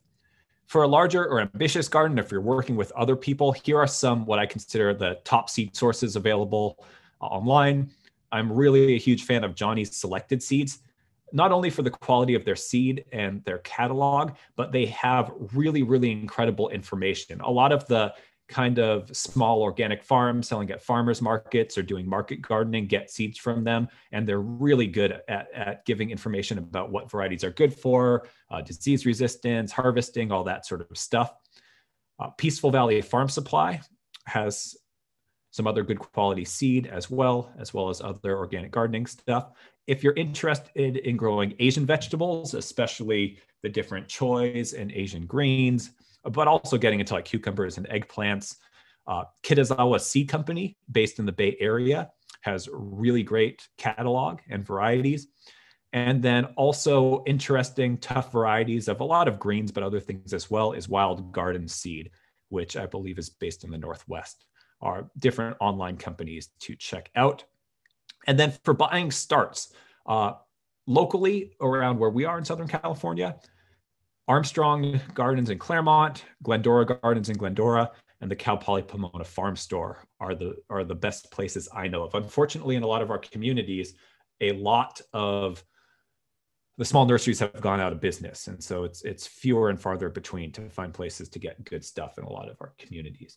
Uh, a little bit farther into the San Gabriel Valley, uh, Lincoln Avenue Nursery in kind of like the Pasadena Altadena border also does a really good job. And then Gloria typed in San Diego Seed Company as another seed company. I've heard of them. I don't have much experience with them, but thank you. I'll have to check them out.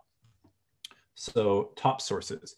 And then in terms of like spacing, planting depth, things like that. I have references later on in the presentation that just kind of break down the recommendations for all the different plants. Uh, so I'll talk about that when I get to them. In general, just kind of general, I won't say rule, but a general guideline uh, in terms of seed depth is about three times the depth of like the the width of the seed itself or the height of the seed itself. So you know, not the very top, not the very bottom, but smaller seeds are generally planted closer to the top. Bigger seeds like peas or beans a little bit uh, a little bit deeper. Planting, ideally transplant when it's cloudy or late in the afternoon or very early in the day. Super early if you can. Never transplant on a hot midday or afternoon. Never transplant like during a heat wave, just kind of wait. Like, so for example, uh, had it not been forecast to be 88 degrees at my house tomorrow, we probably would have put our tomatoes into the ground. But because it is going to be that hot, and then we're looking in the forecast, and later on next week it's going to cool off, we're going to do some garden bed prep and then we're going to wait to do that transplanting and just keep those plants in part shade, keep them happy, not transplant them or they might stress out right away. After you do your planting or your seeding, water plants and seeds in very well, especially for transplanting. That first watering is going to be the most important those plants will ever have. And while you're doing that, if you really want to kind of go all out and, and give things the best boost, considering consider mixing in a watering can up with some water, a little bit of liquid kelp and or fish emulsion to give those plants an extra, that's a typo, it should say boost, not boot, extra boost when watering them in. Uh, the liquid organic nutrients sometimes are just a little bit more instantly available. And so that's just, and you can also water the leaves as well as the soil and just gives things a little bit of extra boost. Like some people traditionally in some of the hardware stores sell like B vitamins. I generally like I don't do that, but I will uh, do a little bit of liquid kelp and or fish. If you do the fish, fish is nice because it's high in nitrogen. The kelp has a lot of uh, micronutrients, some of which help stimulate uh, rooting and can help with trans- transplant stress. Uh, the fish is super stinky. The kelp is stinky, but it smells like the ocean. And so those bottles, you can get both of those normally at uh, a lot of the hardware stores, but also uh, independent nurseries. They come like a concentrate, and normally it'll say like add, you know, some of them are like one ounce per gallon. They'll give you a dilution, and you can do that. I've not done that plenty of times, but if I'm really trying to, you know, do everything, go all out, that is something that I will do. Uh, and after you do that first watering again, just check and make sure uh, that the soil hasn't settled down or moved right where you like at the base of your transplanted vegetables. Sometimes it'll expose some roots just because it becomes kind of like airy after you dig the hole and replace the soil. And you can kind of pat things back if you want to.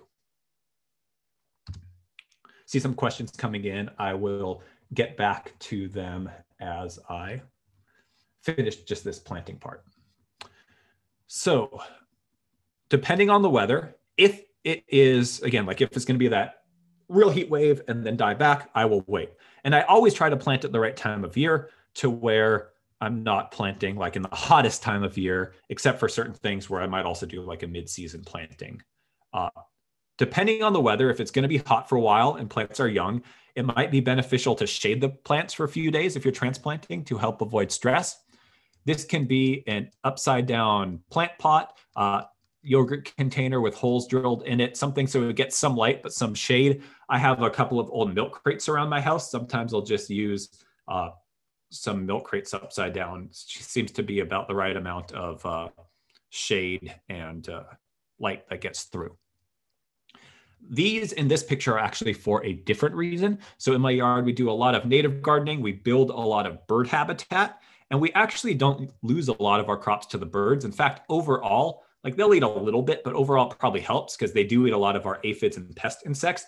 But there's this critical phase when our carrots or our greens are very young, grown from seed and just coming up. And that's irresistible to our little birds. And so we have these flats that have just, we've accumulated from nurseries over the years uh, that let enough light in, provide just a little bit of shade, which the young plants don't mind, and the birds just can't get them. And then by the time the things are large enough that we're thinking about needing to remove these, then they're going to be large enough that they're not going to be as threatened by all of our birds.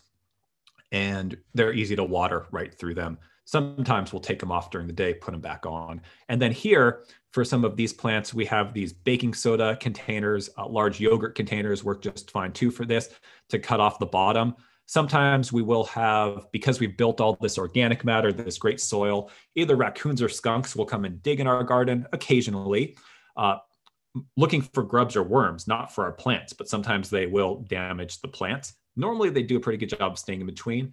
And then occasionally, we also have uh, some issues with some roly polies, again, because of all of the, that organic matter that we've built, which overall grows our vegetables really well. And as soon as those vegetables are up and going, not an issue at all. And so this is uh, our very kind of low tech, cheap, but very effective pest control is we just put these collars kind of around them. And then most of the roly polies just keep going, looking for other stuff. Uh, they mostly will eat decomposed organic matter. Uh, but if there's these fresh greens or young plants right there, it's just very tempting. Uh, and then eventually these come off. So just kind of some, some different tips or tricks that you can use. And you want to plan for irrigation. Sorry, uh, a roly-poly, just saw that come in, is a sow bug. It's also called, or a pill bug. It's those little multi-segmented insects that kind of curl up into a ball if they get uh, surprised.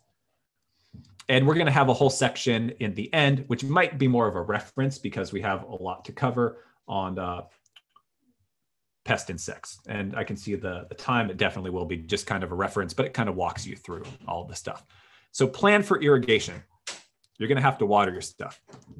Plan to hose water or germinate to germinate seeds or get new transplants established. So even if you have a good drip irrigation system, immediately after transplanting or getting uh, new seeds to come up in a small home garden, not like a farm scale, I really recommend watering with the hose as often as needed. Might be once a day, might be every other day, might be twice a day if it's getting really hot. Uh, and then eventually you can switch over to your irrigation system. If you are hose watering established plants, like if you don't have a drip irrigation system or any permanent irrigation system, do your best to do the watering directly to the soil. Or if it's mulched on the mulch directly, keep the leaves of the plants as dry as possible to prevent disease. And so for us here in Southern California, I'm not going to talk through all of this, but this is a general planting guide for our area in Southern California each kind of very active month of the gardening season. In Southern California, we're a little bit different. A lot of the plants that sometimes would be considered spring plantings, like especially uh, broccoli, cauliflower, a lot of the greens are fall plantings for us, and we grow them through the whole winter. Winter is really the easiest gardening time. And then in spring, we're doing our tomatoes, our peppers, our eggplants, our tomatillos, our beans, cucumbers.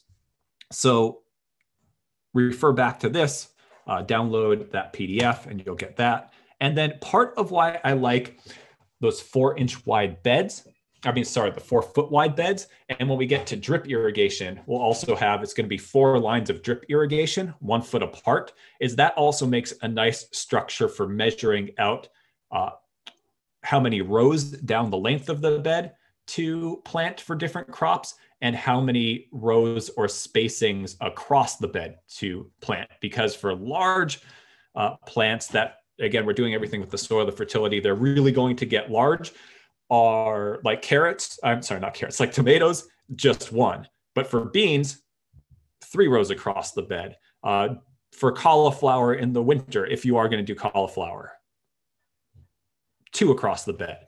Uh, so here's kind of based on this assumption of that four foot wide bed and also how that irrigation would would come in if you're going to have an irrigation system. This all works together with that. This isn't following like any one other person's like square foot gardening or or biointensive gardening if you've heard some of that. This is just kind of what i've found works best for me with the way i garden in our local climate. The spacing is not as far apart as like agricultural farm spacing for some of the plants if you read those references, but it is significantly farther apart than square foot gardening or biointensive gardening if you're familiar with those. In my experience with those kinds of approaches, if you're doing everything uh, to have large vigorous plants, then those spacings are too close. And if you let your plants just grow bigger, it's a lot less maintenance and you get a lot more harvest overall. So to me, this is just kind of what uh, has worked for me. So question just came in for those of you who weren't here at the beginning, how do you get the PDF? Uh, it will be at cbwcd.org slash presentations. I'm going to upload the PDF right after this workshop and you can right click save as and you'll get all the slides. And so kind of all the main plants that you might consider growing at home.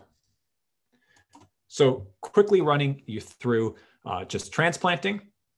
So I will literally measure out, and this is just an example in the ground, but it works the same way for raised bed. Literally use a tape measure, measure out your spacing. Uh, you can put a little stone, just make a divot in the soil here. We always have handy these little irrigation flags for projects. Your healthy transplant about the right size, looking nicely, nice and vigorous. If you want to, optional, if you have that uh, kelp mix mixed up in a little thing, you can dip your uh, four inch pot into it, let it soak in some of those good nutrients. Again, optional. Dig your hole as deep as and slightly wider than the root ball with certain plants, specifically tomatoes and brassicas, so like kale, uh, broccoli, cauliflower, you can dig it a little bit deeper. They like being planted a little deep. But most things, and if you have any doubt, just match the top of the soil to the top of the root ball. Test it out, make sure that it's going to look good. Everything's going to be right before you transplant slowly tease the pot out. And this is about perfect. The roots have grown enough to hold that root ball together, but they're not really wrapping and spiraling super tight. You're just going to hand loosen this a little bit. So just gently tease with your fingers, just so that when things grow, they'll be growing nice and out and won't continue to grow like along the edge of where the pot was. You can see here, gently pull the soil back firm it up just a little bit. You don't need to really compact it, but firm it up so that when you water, the soil doesn't totally kind of collapse. Water it in and go from there. So not rocket science. And then you're going to be thinking time to get it established. So for your establishment period, whether it's seeds or transplants, the seeds and young seedlings need to stay consistently moist Transplant needs consistent moisture at the beginning as well. Depending on the weather, it could be once a day, twice a day, or every few days. Use your finger. Just kind of feel how's that soil doing. As plants grow in and establish, though, they're going to want deeper waterings and less often for their best health, growth, and fruit quality. Even in hot Southern California, you don't need to water every day. Many gardeners water too often and not deep enough for the optimal health and productivity of their plants. The exact timing depends on many factors, including weather and soil. Often, though, in Southern California, for most of our summer crops, in the hot time of year, this is going to be a deep watering. What I often do for my sandy soils in Pomona, twice a week in the ground and two or three times a week in raised beds, just depending on sun exposure, soil, or things like that. Most of the time for me, twice a week for my in the ground plants, three times a week for my raised beds. It's the same total amount of water. I just water a little bit deeper and a little less often when I water in the ground, and a little bit more shallow and a little bit more often in the raised beds, just because they tend to dry out a little bit quicker. So, irrigation. I'm going to walk you through a way to dig up, uh, I mean, sorry, a way to dig up, a way to install what I consider the kind of easiest, most accessible, but still high quality drip irrigation system for a raised bed. I can already tell we've had a great workshop, a lot of questions. It's going to be a little bit rushed as I go through that, but I want to do it to go deeper into irrigation. And I really encourage you to do that because it, it's oftentimes the missing link for a lot of kind of backyard gardeners in hot areas. You can also check out our efficient watering for fruit trees and vegetable gardens online workshop, which is on our YouTube channel. But here's the basic. In the peak of summer in July, essentially you need to plan on replacing about a quarter of an inch of water per day over your vegetable garden area. And what I mean by a quarter of an inch is when we talk about irrigation demands, we do it in inches as if, like when it rains, sometimes there's been an inch of rain. It's as if the whole area has been covered in an inch of water and then that all soaks in. And the reason why we talk about inches is because that way, whether you have 100 square feet of planting area, 25 square feet, or 3,000 square feet, it still scales. So basically, in July, in our area, and this will you can figure this out for where you are wherever you are but in our area inland southern california it's about a quarter of an inch of water as if it had rained a quarter of an inch directly over your veggie area is what's needed in the summer to replace the the water that's been lost that plant water demand or for a typical four by eight foot raised bed planting area that adds up to about five gallons a day for a four by eight raised bed area. That's important because if you have two beds, you know, that's 10 gallons. Four beds, that's 20 gallons. But you're not going to water your established plants every day. So, for example, if you're watering twice per week, it's approximately every three and a half days, even though it might be like one day is three days, one day is four days. You're watering twice per week, on average in July, it's about 17 and a half gallons of water to the root zone each time you water. So if you're manually watering, like with the hose, with your hose nozzle, with the, the hose open as much as you normally do, however you have it normally set up, you can figure out how long that's going to take. Time how long it takes to fill up a five gallon bucket with however you normally have your hose and your nozzle, your attachment set up. And then you're going to have to spend three and a half times that much to get from those five gallons to that you know, 17 and a half. Three and a half times that much time watering each four by eight area. So you can see that if you're doing it twice a week, you have a few beds, 17 and a half gallons each time you do it to really get that good deep soaking to replace in the middle of summer. It's going to add up to a long time, especially because you might not be able to do that all at once. You might have to water one bed, water another bed, kind of halfway, uh, go back to the first one, maybe do something else, let that water soak in. So that's why it rapidly gets us to why drip irrigation is such an appealing way to water most vegetable gardens if that's an option. And that's not to say you have to do that. So oftentimes, and including the garden where I live now, uh, when we first moved in and got our vegetable garden started, I had did not have time that first season to get my full awesome irrigation system in. So we did hand water that first season. And then going into the second season, we knew like before summer, I really got to get that irrigation system in. It'll save a ton of time. We're motivated. And now uh, irrigation, we still need to be aware, feel the soil, look at the plants, uh, make sure that we're watering the right amount, even though I'll give you some guidelines for how to figure out how to do that. Uh, but in terms of the time of actual watering, very minimal, except that hose watering to establish. And then harvesting harvesting is a surprising amount of the work of vegetable gardening and that's this is often where beginning gardeners get overwhelmed and a good part of why i encourage people to start small if you are following everything that we're talking about building the bed right or gardening uh, knowing if you can garden in the ground or your raised bed the soil fertility the mixing in the compost the irrigation you might get a really good harvest, which is great, but that harvest can be time consuming. And you want to make sure you stay on top of it. You want to harvest often once your plants are fully ripe or your crop is fully ripe or ready to be harvested to ensure that those plants remain productive. The more you harvest as appropriate, uh, the longer the plant will stay productive, the more it will produce because it's kind of about developing seeds. If you stop harvesting those seeds all in the fruit, all fully ripen, the plant might prematurely think it's done for the season because it's it's done its job. So harvest often when things are fully ripe will give you the best quality product, keep your plants productive. And for most plants, morning is the best time to harvest. Avoid harvesting in the middle of a hot day because a lot of the crops, especially for greens and roots, uh, can kind of dehydrate quickly. Uh, if you do have to harvest midday, soak it in some cold water right away to kind of get that heat off of the harvest. Uh, for tomatoes, doesn't matter quite as much, but for definitely for roots and uh, and leafy crops, it's super important. And if you want to learn more, here's some top sources.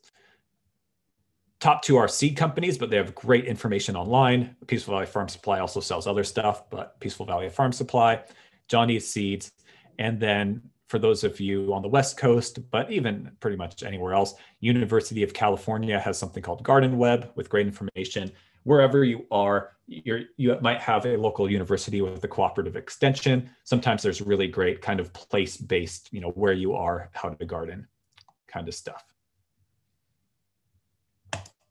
Uh, so now we'll answer some questions and then we will spend a good chunk of the rest of this workshop talking about irrigation. And then I'll end in terms of showing you some guides for kind of plant by plant information, uh, plant tips, and uh, kind of uh, pest control information, kind of using kind of an organic and ecological framework. So from anonymous attendee, what kind of mulch do you recommend using? So in hot, dry areas, mulching the garden bed in the summer after the plants have been established usually can help quite a bit. I just use the same wood chip mulch that I would use in the rest of my garden. And what I use is just the stuff that we give away for free at the Waterwise Community Center. Any kind of ground wood chip mulch, ground arborist trimmings work. Uh, and in an urban area, that's often the, the easiest mulch we have available. Sometimes in rural areas, if you have kind of spent straw, as long as you know that there's not herbicides that are, are accumulated on that straw, or just kind of anything organic to cover the soil can work. Uh, because that mulch locks in moisture, which is a good thing. It can attract some pill bugs or roly polies or earwigs, which on very young plants can uh, can kind of chew them up some. I normally wait till things are uh, kind of established and then I will, which it happens before it gets really hot in the middle of summer anyways, and then we will mulch. And then normally that mulch all pulls off uh, before our winter planting. And normally what we do, since it's the same wood chip mulch we use in the pathways, when it's time to pull the mulch back, we just rake it or uh, you know rake it up and just toss it onto the pathway to then refresh the mulch on the pathway. Uh, how do you keep nutgrass out of the garden? Uh, pull it out as soon as you can. Pull it out, or as, like I mentioned before, cardboard, cardboard mulching and pathways. But if it's in your veggie beds, you just need to keep digging it out. Eventually, you'll, you'll win. Dig it out as soon as it can. Oh, thanks, Jan. Uh, Jan just chatted in that there's a typo on my UC link. So I am going to re-put Jan's comment into the chat for everybody uh, Sean as well. Thank you very much. Okay, would I recommend watering the hole before transplanting? Uh, not a bad idea if you want to. Normally, I don't because I make sure that my garden soil is nice and kind of evenly moist across the whole thing. Like I'll irrigate all the soil uh, before transplanting. You never want to transplant into bone dry soil. Water everything really well and then let it dry out a couple of days if you need to, if you haven't been gardening in that area for a long time. But yeah, some people like to water the hole let it drain out right before transplanting. And if uh, if that sounds good to you, uh, definitely definitely uh, go for it. It's not a bad thing. Uh, Andrew, is the parking lot at our headquarters, uh, CBWCD at Montclair, still open for picking up mulch in the parking lot every day? Yes, it is. Uh, Okay, a lot of questions coming in. Some of these are more personal, uh, like Karen about your cilantro seedling. I'll, I'll have to hold those till the end because it's looking like we have so many questions. I could just keep answering questions and we won't have any time to talk about irrigation, which is what most of the 77 people here will probably uh, need. So I think at this point in time, it's great that we have so many questions but I'm going to need to hold them until the end. So hopefully that works out okay with everybody because trust me, you want to get through this content. So we're going to look at a simple but very effective irrigation system for a few raised beds or in the ground beds.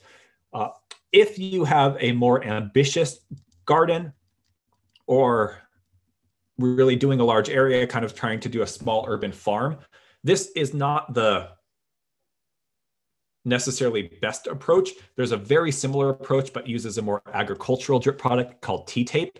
And I covered that step by step with uh, a lot of examples in the efficient watering for fruit trees and vegetable gardens class. This is built very similar, but I wanted to provide, since most of the people who come to this workshop are wanting to do one or two raised beds, doing a special order for kind of agricultural specialty irrigation products isn't always what you're looking to do. So I wanted to provide the still economical, but basically highest quality drip irrigation system with stuff that you can usually buy locally. So this is a drip product available from Home Depot, uh, and then some other products available from the specialty irrigation supply stores. And I'll explain kind of all the whys as we go. This is the the system that we use at the WaterWise Community Center's demonstration garden. So I'm I'm confident in it. Uh, and yeah, it works well and pretty easy to put in and is very efficient. So critical thing, if you're working with drip irrigation, whether you're connecting to an automatic valve, which is ideal, or a hose, which is just fine as well, all drip systems must have a filter and a pressure reducer after the connection to the valve or the hose. Not optional. It's one of the huge things that I see people not do is put in the drip and not do the pressure reducer and the filter. Doesn't work that way. Things fall apart, things get clogged. Not engineered to work without it.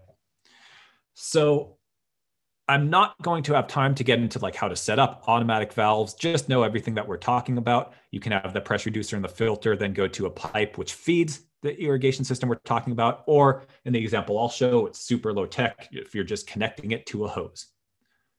Depending on what drip product you're using, might have a different uh, different requirements for the pressure reduction. So I'll show you what we need here. So here's just some general parts, and I'm going to go through the parts very quickly both because of the time we have left, but also because we're then going to show kind of assembling all those parts. But assuming that you're going to connect it to a hose, the thread on a hose connection is different than the thread on a pipe connection. And so you can't screw them into each other. You'll strip the parts, it won't make a watertight seal. That's just how it was built out. In an ideal world, they'd be the same, but they didn't ask me before they started manufacturing irrigation equipment. Uh, so on one side, the thread is a little tighter for the pipe thread. And so you need an adapter if you're going to connect a hose to it.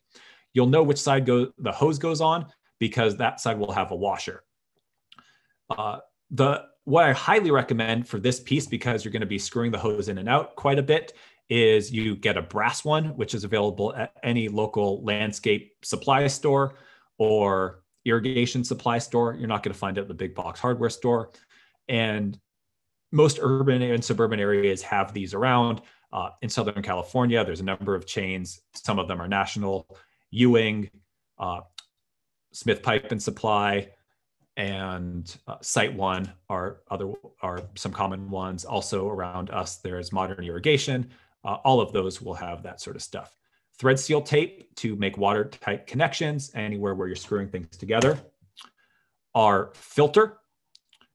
This is the filter pressure reducer as well in one piece, which is nice. Normally, for wherever you're getting your actual drip product, your drip line with the drippers in it, they will also have like the same brand and same specifications for the pressure reducer that will work for it. So, for example, at the landscape supply store, they're going to sell these pressure reducers and filters for like typical landscape irrigation drip line, which works at a higher pressure than this uh, drip line that I'm going to show. So you need to get the part because this is at 25 pounds per square inch pressure is what it regulates to. The larger uh, or the, the larger and more landscape drip line uh, is normally at 30 to 40 PSI. And so that will be too high for this. So this from Home Depot, just where you get the line. And this is just what it looks like on the inside. Uh, the color and exact shape might be a little bit different, but it's just a filter. So it makes sure that even though if you're connected to city water, it's pretty clean water, even if there's just a little bit of grit or whatever, because the drip irrigation parts are so small, then it just catches it in this filter. You just need to flush it out every six months or so. And then you'll need some adapters to go to different parts including over to your drip part. And so this is the adapter that will get from all your screwed parts over to a drip irrigation line, which is a barb. a drip line, which is this, just kind of pushes over that and it makes a, a watertight seal. You're going to have some distribution tubing. This is about a half inch solid, so no emitters, pipe that then you can cut, which will be at one side of your bed, and that will feed the water into all of your drip lines. So there's different fittings that let you have elbows. There's a valve you can slide in to turn water on and off. You will see at the big box hardware store, instead of the fittings that are these little barbs that you slide the, the pipe onto, you will see these, which are called compression fittings. They are easier to put on than these barb fittings but they break and leak over time, and the barb fittings rarely do. So I encourage you, even if it takes a little bit more elbow grease, stick with these rather than these. These tend to have a lot of problems over time. And this is the actual stuff that you'll use. Comes in a 100 foot roll for this system. Critical, critical. Six inch spacing between the actual drip emitters. So the drip emitters, you can see these holes, and there's actually like a plastic bodied engineered emitter. So it's not just a hole in the tube along on the inside for all of these.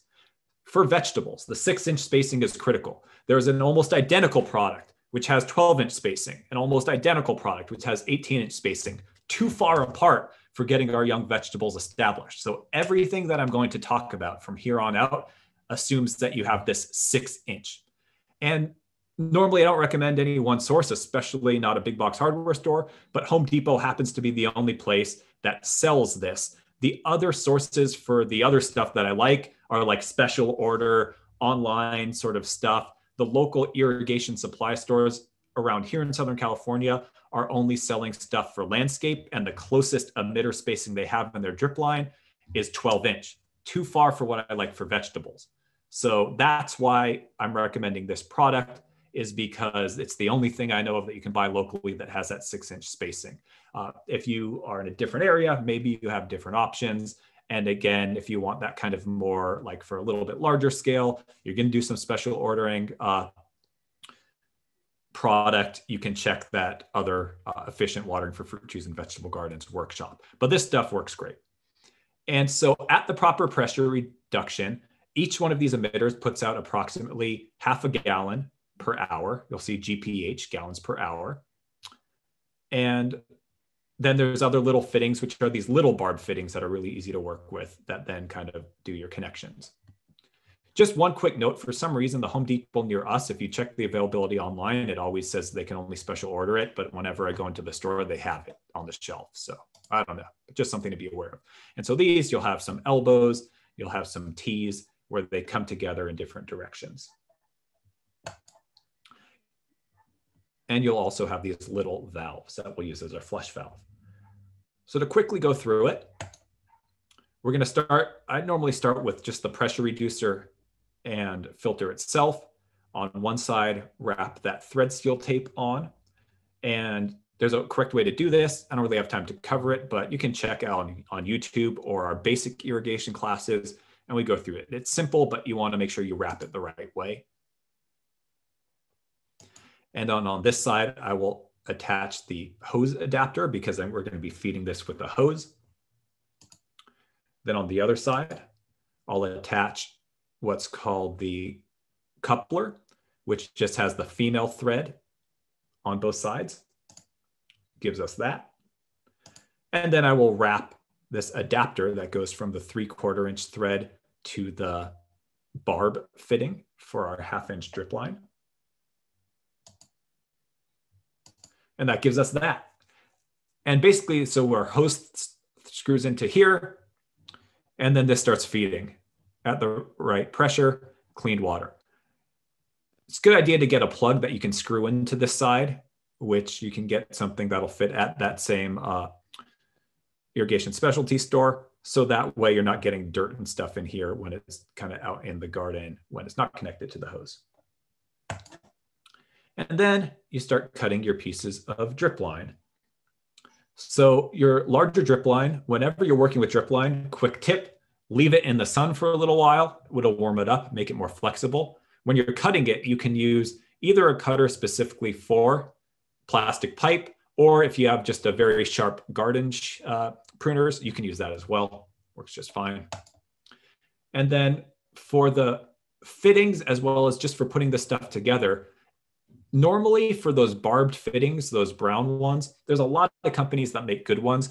But for homeowners, I do tend to recommend the Rainbird company, their fittings, which are available at uh, most specialty landscape supply stores because they have this little tool which only costs a few bucks which are meant there's an extra little ridge that those snap into gives you more leverage and you can also use this part of the tool to kind of just barely loosen up the drip tube makes it a little bit easier to push things together and so you'll push on a small piece to get started and you can see you just kind of wrestle it on a little bit till it seats all the way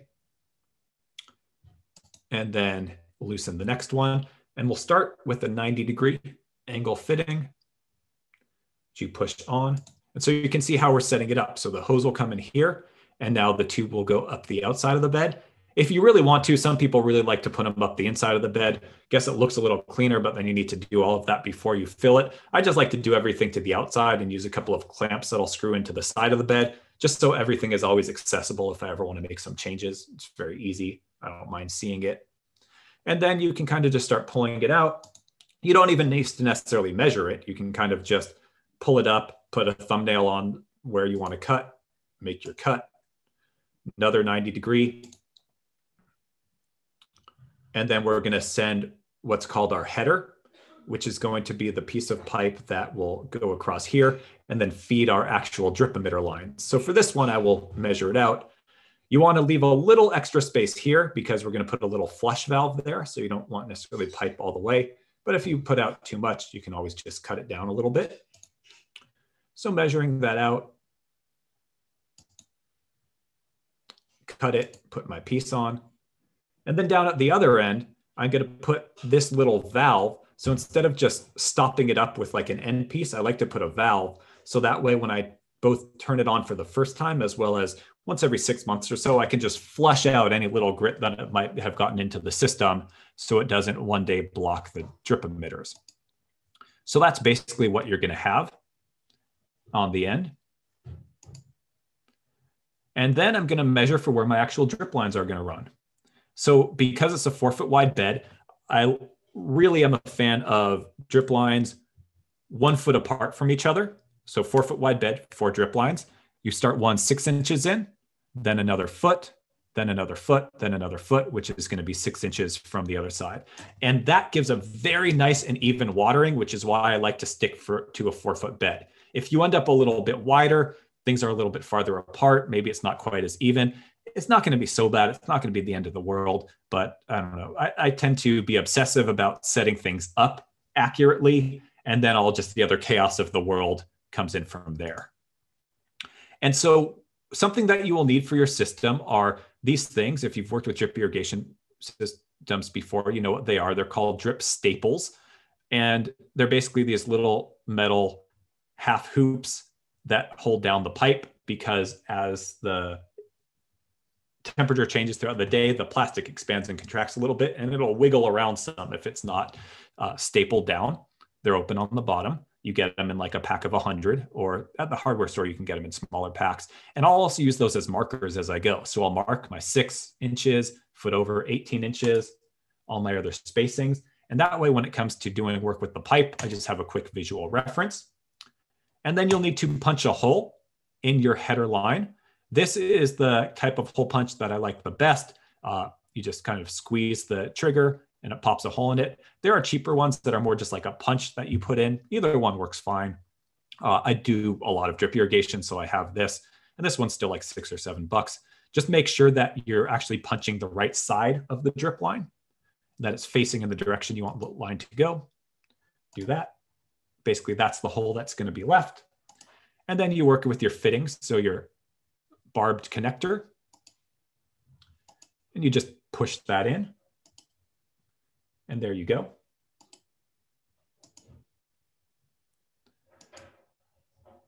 I always have a pack of what are called goof plugs. If you put a hole on the wrong side or in the wrong place, these are just a solid little fitting that plugs up that hole. If you don't have that and you put one in the wrong place, then you have a big leak. You'll have to go back to the hardware store to get that. So it only costs a couple of bucks to get that. Just have it with you. And so you put those in at all of the locations where we're going to have our correct measurement. And then you go down to the other side and you do the same marks for where those lines are going to end. So you can see one, two, three, four. And then you install and pull your line. Quick tip, whether you're working with this or the larger drip line, any piping product that comes in a roll that's kind of bound up with tape or a strap, it's meant that you cut the inside, leave the outside on, and then you can uncoil just from the inside, helps keep the rest of the coil manageable and prevent it from tangling you always want to start with a nice clean cut. So that's, you know, a little bit ragged.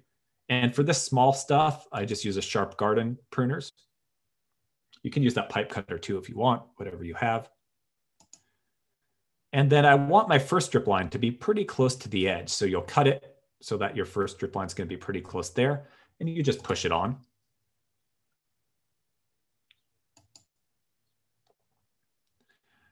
And from there, you pull it out, pull it to the end, make a cut, and then I'll often hang that over the edge just so that I won't get soil in it. When you're setting up your second line, here is a trick to give you the most even watering.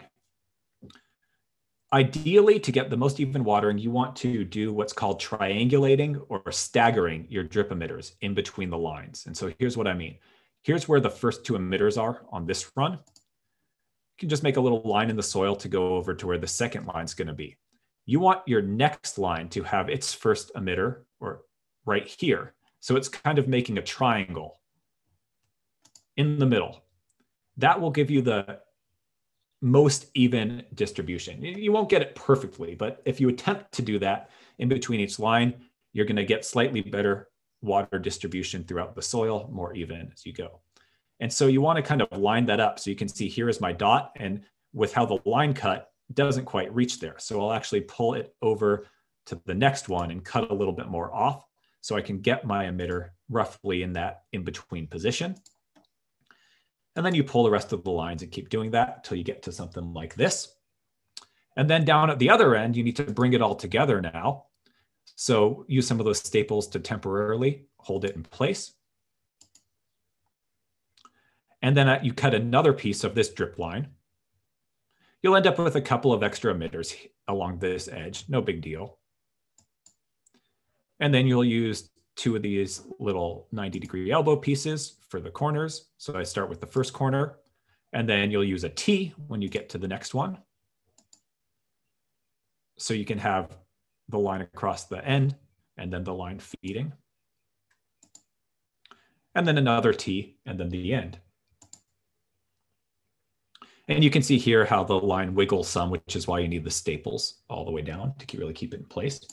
And then the last thing you'll want to do is you'll do another cut somewhere towards the middle, another T, another blank little piece of line, and then one of these little valves, which will also be a flush valve. And so you'll start with that open and this open. So the valve open so water can go through. That's the line is going to be along the line. So there's always a line at the top, an indicator on one of these little valves. If it's across, it's off. You always want to have it in the on position the first time you turn on your irrigation system. So you'll connect the hose, turn it on, let water run through here for a minute, and then close it down so it flushes out any little bit of debris. And then that'll shoot all the rest of the water out through here because that's open. Then shut that down. And there you go. Super high efficiency drip irrigation system. Now, it's pretty much 12 o'clock now. So what I'm going to do is I am going to just walk you through, for those of you who are going to download the presentation, the rest of the information that I have here for you. And I think what I'm going to do is because this is a half of what you need to know for the irrigation system. The other part of what you need to know is really how often and how long to run this irrigation system. And that's going to be based on your weather and where you are. I mean, the one thing you can do is always poke in the soil, dig down a little bit, check. And when it's getting dry, not just slightly dry, but you know, kind of dry, uh, run it again. But for those of you who want to go kind of the next step, know what to anticipate, probably for different times of the year, how many times a week to water and how long, especially if you're in our local area in Southern California. I've developed a lot of resources to help you know that based on what to anticipate different times of the year, how many, how much uh, in inches the area is going to need. This system, how to quantify how many inches per hour it puts out running, how to make sense of it to figure out your run times, uh, and then how to figure that out in terms of like one day a week, two days a week for what you actually run. And then I also kind of have created some information in terms of, okay, but what if you're going to be doing this with a hose? How do you know what that means? And so what I think I'm going to do is sometime next week, I'll create a little supplemental YouTube video that walks you through this. It's really more uh, in depth than we really have time to explain in this workshop where we're covering so much else. So you can probably by next weekend, hopefully that'll be up on YouTube. And so, you know, for now, you're not going to use that probably next week because you'd be getting this going. And then you can really apply all that kind of nitty gritty details with that supplemental video. I'll also put the link to that supplemental video in the in the main recording. And then other references for you to have here, which I never get through when I teach this, but I want to provide you with are kind of step by step. So there'd be no reason for me to read this all out to you anyways. But step by step, if you want to download the slides for some of our most popular homegrown vegetables, kind of tomatoes, my top tips in terms of what to do and common problems in terms of what to do about them. So, you know, it will go step by step tomatoes, peppers, okra, melons, eggplant. Uh, and then we also have for what are in Southern California are cool season or fall planted vegetables. top tips for each of those. And then finally, for dealing with pests, integrated pest management, thinking about it from kind of a holistic perspective, some top tips in terms of how to even approach it. And then for dealing with the different really things that often show up some of these I have either organic or what I consider very low impact pesticides. So, for example, for ants, Terro, it's just borax basically with some sweetener. Safe for dogs, safe for kids. So I feel okay, even though I'm mostly organic garden doing that. Some of the other ones like Sluggo, I've done research into all of these. Personally, feel very comfortable, even though I mostly do habitat gardening and organic gardening. Some of these are organic products. If you need to go that far, sometimes you don't. I included a little bit of identification for some of the main pests, as well as some of the beneficials that you don't want to confuse for pests. And then at the very end, although it's in here earlier, that general planting guidance spacing for our area. So if you want to download those slides, you'll get access to all that stuff that I've, I've kind of consolidated from just kind of my experiences over the years of, of what has worked for me in my Southern California garden. So thank you very much, everybody, for joining us today. What I'm going to do is I'm going to launch into the question and answers. I have plenty of time to stay and answer questions. However, for those of you who are still here and might need to leave, before you leave, and before I launch into the Q&A, if you could please quickly fill out our closing poll. I would really appreciate it. Helps me as well as our organization out a lot. Uh, just four questions. In addition to what's in here, I really, really uh, value comments that come in from the chat. This is only the second time I've taught this online. Normally, when I teach this and it's not in a pandemic situation, we're kind of like doing all of this out in the garden, which seems to be a much more natural way to teach this. So I would really appreciate uh, if anyone has comments in the chat, either what worked well for you, if there's anything specific that you found valuable, or if there are things that weren't clear, uh, you wish that we had more time for, or even like we should develop a whole other workshop for because you you want you know more information about it. Uh, also, let me know. I, I, always read all of these, and uh, and we really use the comments to guide what we do in the future or to make sure we're doing our job uh, as well as we can.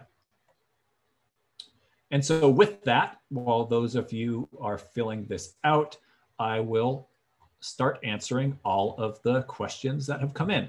I'll go to the older questions and go from there. And I know we have a few people who have left already. Uh, so I'm gonna check and make sure people are still here. Okay, so from Susanna, uh, could you use Mel's mix in the raised bed? I don't know what Mel's mix is. Is that the is that the square foot gardening mix? If so, I can let you know my thoughts. But if you can type back into the Q and A uh, or the chat what Mel's mix is, then I can try to answer you better. Uh, okay, that's how to download the PDF. Okay, from Allison, are you still here? Allison, can I talk about which plants are good for container gardening? Totally. We can cover that some now. Uh, that's actually what I wrote my master's thesis on and did a experiment on it was trying to figure out if growing fruit in containers is worth it for urban kind of gardens and did a lot of crop tests and here's what i came up with if you have a big enough pot you can grow at least the small varieties or the dwarf varieties of most vegetables. So like you can grow tomatoes, but grow like the smaller bush tomatoes. Uh, I mean, you can grow eggplant. You can grow, especially there's some like zucchini seeds now where they're meant for kind of containers and all that stuff works. But the issue with a lot of those plants is that they have such big root systems that by the time you get through one system, or by the time you get through one season, those roots from like a tomato plant or a zucchini plant have totally like densely kind of clogged up all of that potting soil in the container. Like so it's beyond where i say leave this leave the the roots in let them rot down. It's it's kind of dense and thick and you won't be able to very effectively usually plant again. So you're having to replace all that potting soil the next season too. And because it's growing in a container usually those plants of those vegetables that want to become large have don't have huge production. And so that's not to discourage you from planting in containers, but that's just the reality. If you want to do those, you need to be motivated, plan on having to replace the potting soil. What works great in containers are all the culinary herbs, uh, thyme, oregano, rosemary. If you use lavender, uh, even seasonally, uh, basil or cilantro, all of that works super well. That works so well that I have some large kind of 18 inch containers, uh, 20 inch containers, just plastic ones that came from the hardware store, where even though I have a huge organic garden in the yard, we still have our herbs in some of those big pots. We've transplanted, transported them uh, just on the U-Haul truck from the last place we lived. And we still keep using those because we can put those right outside our kitchen back door where it's a patio space and harvest them without having to go out into the garden uh, in the dark. So those work super well. The other thing that works really well are salad greens. Anything that you can cut and come again. So salads, small chards, kales, anything like that. Uh, those work really well. And greens don't have super deep roots that are going to really clog up like all of that that uh, potting soil. So when I grow greens in containers, you can kind of harvest, when you do your final harvest, just clear out like the top little bit of the root system and then just top off each season with another inch or two of potting soil and you can really keep that going. So greens is kind of really where I find that it's at. And with those greens, you can kind of keep cutting and coming back and recutting over a long season. The other thing that works really well in containers are carrots. If you have a deep enough container, carrots love that loose uh, potting soil. But you only really get one harvest after uh, a long season. So we also kind of need to think about that. And then you can kind of guide that on what's going to be worth it to you. But that's that's kind of my, my general take on container gardening. Uh, so if I'm interested in kind of eating everything, what I would grow in containers mostly would be herbs and greens because that's like a super efficient system. Uh, and I would really only grow other stuff if I really wanted the experience of growing it. If you really want the experience of growing it, then feel free to try other stuff. The other thing is, uh, if you're in a hot area like Southern California, plastic containers work better than terracotta containers because they hold the moisture in better. And if you're really trying to do like production and you're less concerned about like the aesthetics of what it looks like, uh, what I am really a fan of doing and what I did for my thesis project to have a large area, and I was really trying to figure out can it be economical as well to grow vegetables in containers, even with all the costs, is I took 18 gallon storage tubs, like the, the highest quality plastic you can find, uh, not the clear ones, but like some sort of opaque plastic, like mine were just tan colored storage tubs, usually not the cheapest ones because you want what seems like a good quality plastic. Drill a number of half inch drainage holes in the bottom and just grow in those. And those also have a rectangular layout, which is kind of nice for a seeding plant. It's easier than, uh, than round ones. So for Mary Ann, for Mary Ann, uh, my neighbor who has a successful garden discouraged my husband from using mulch because he stated it can attract spiders and bugs. We actually used the mulch giveaway from Chino Water, Chino Basin Water Conservation District. Cool. That's the mulch I use in my garden as well. Uh, here's the thing people tend to be afraid of insects. So, spiders. I've never seen a black widow living in garden mulch. Uh, other than that, spiders are good to have in the garden. They're predators and they eat a lot of the pest insects. So I don't mind spiders. I also don't think that mulch in the garden attracts spiders. I don't really see that. I spend a lot of time in many gardens. Uh, insects. Over time, like I mentioned, it can, because it keeps things extra moist, which is great for your roots and great for the soil, it can attract uh, roly-polies or sow bugs and earwigs, which are not an issue on established vegetables. When things are very little, they can be. So I wait until my veggies are a little established, which is normally happening in the spring before it's really hot and I feel like I really need that mulch. And then again, I remove that mulch before I replant and just use it in my pathway areas. Uh, but if you see that there are too many, then you can kind of pull back on the mulch. Uh, but there's just so much benefit of keeping the soil cool and saving water that, that I generally tend to mulch instead of not. Especially kind of mid-season in the summer is when it's really important. Can I repeat the info about how to pick up the mulch from the Waterwise Community Center? Uh, absolutely. So basically, in our parking lot, which is on San Bernardino Street in Montclair, just south of the 10 freeway, we have a big pile of mulch that we keep. Uh, generally, it's there every day. You can always call our main number, which you can get from our website. I'll put it in a uh, couple of couple of websites into the chat. Our main website is cbwcd.org, or you can get the main contact information and our administrative assistant who answers the phone. I mean, she sees the mulch pile every day when she's parking. She can tell you just to confirm. We pretty much always have it there though, because we have a relationship with the producer and they bring it to us for free. So we just call them when we're running low. Uh, if you want to see a little map of exactly where things are set up and how to get it, even though if you just come to our main address into the parking lot, you will see it. You can go to cbwcd.org slash mulch when we do get compost for our compost giveaway, it goes right next to it. However, it's normally gone in like two days. So you can call to ask if we have compost as well, or we also uh, normally will publish that on our social media when it does show up. And basically, you just pull into the parking lot, and it's an area where you can pull over next to it, and other cars can still get by and you bring all your own containers or fill your own truck, take as much as you want, bring your own tools. It's totally unattended. We just ask that everybody stays socially distanced and wears the mask while they're doing it. Uh, okay. So from LGR, are you still with us? Uh, LGR, I'm going to be starting carrots by seed in cardboard type pods. How many seeds do I put in each pod? I'm going to throw you a curveball. Don't do that.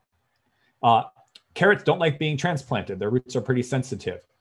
Start the carrots where you're going to be growing them in small rows in the garden along, if you're doing it along a drip line, uh, along the line with about one inch in between each seed, planted roughly between a quarter and an eighth of an inch deep.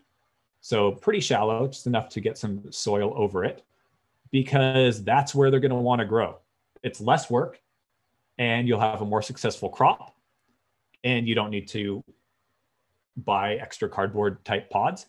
Uh, so just do it right in place. That's how carrots have long been grown. That's how I always grow carrots. Just keep that soil moist, which is no more difficult. In fact, sometimes easier than keeping the soil in those pods moist. Or if you're doing it in container, do it right in the container. Uh, and then after they start to grow, you're going to grow, you're going to plant them about one inch apart. And then you uh, and then you will thin them as they start growing. And you can thin them when they're baby carrots to about three inches apart. And then those will grow into nice full grown carrots. And all those kind of spacings and things like that are in the some of those guide pages that I have. Uh, so Roberta redoing her garden on cement because of years of attempting to keep nutgrass out. Yeah, so I had a big vegetable garden on a concrete driveway. Uh, just I would go with close to two feet tall raised beds because the bottom is going to be not very well draining. Uh, so from Karen, received a cilantro seedling from a friend that developed a flower about two weeks after I planted it. Is it done being productive for now? It pinched off the flower, but it's not growing much. I just pull it out?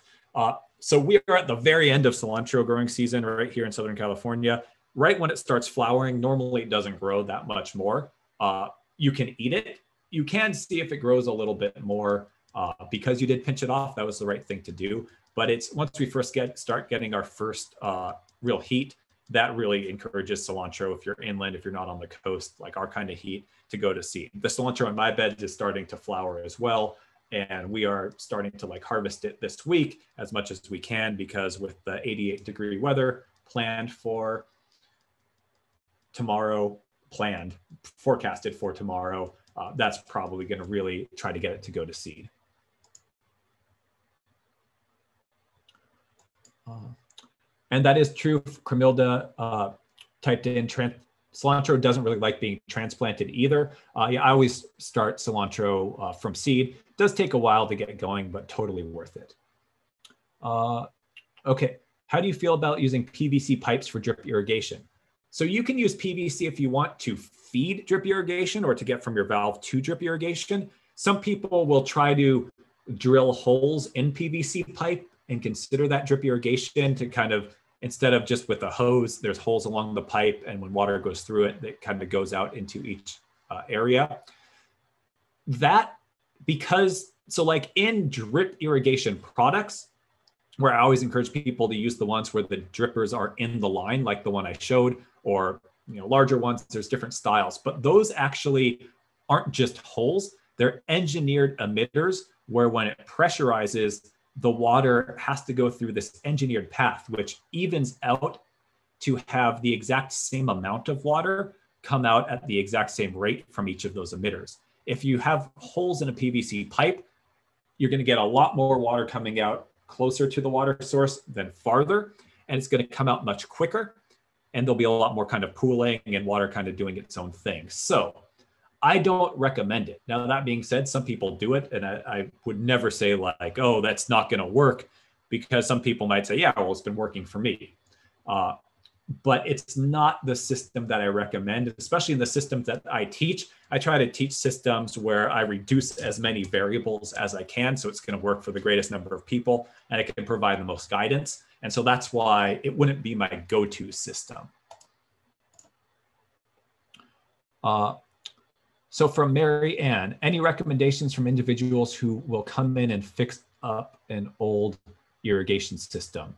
Uh, so I can't make recommendations for specific contractors because I work for government agency, presenting this for government agency, but I do have a couple of questions. First one is where do you live? Because if and what kind of system is it? Is it like a vegetable gardening kind of drip system, or is it more of a landscape system? Are you having issues with valves or things like that? If you are having issues with like valves or sprinklers or kind of those more infrastructure issues, and you happen to live on the western edge of San Bernardino County, let me know because there might be a local. Oh, so you're you're in Ontario and it was for the grass. There might be a system from Ontario Utilities that can help you out. Actually, a program that can help you out for free.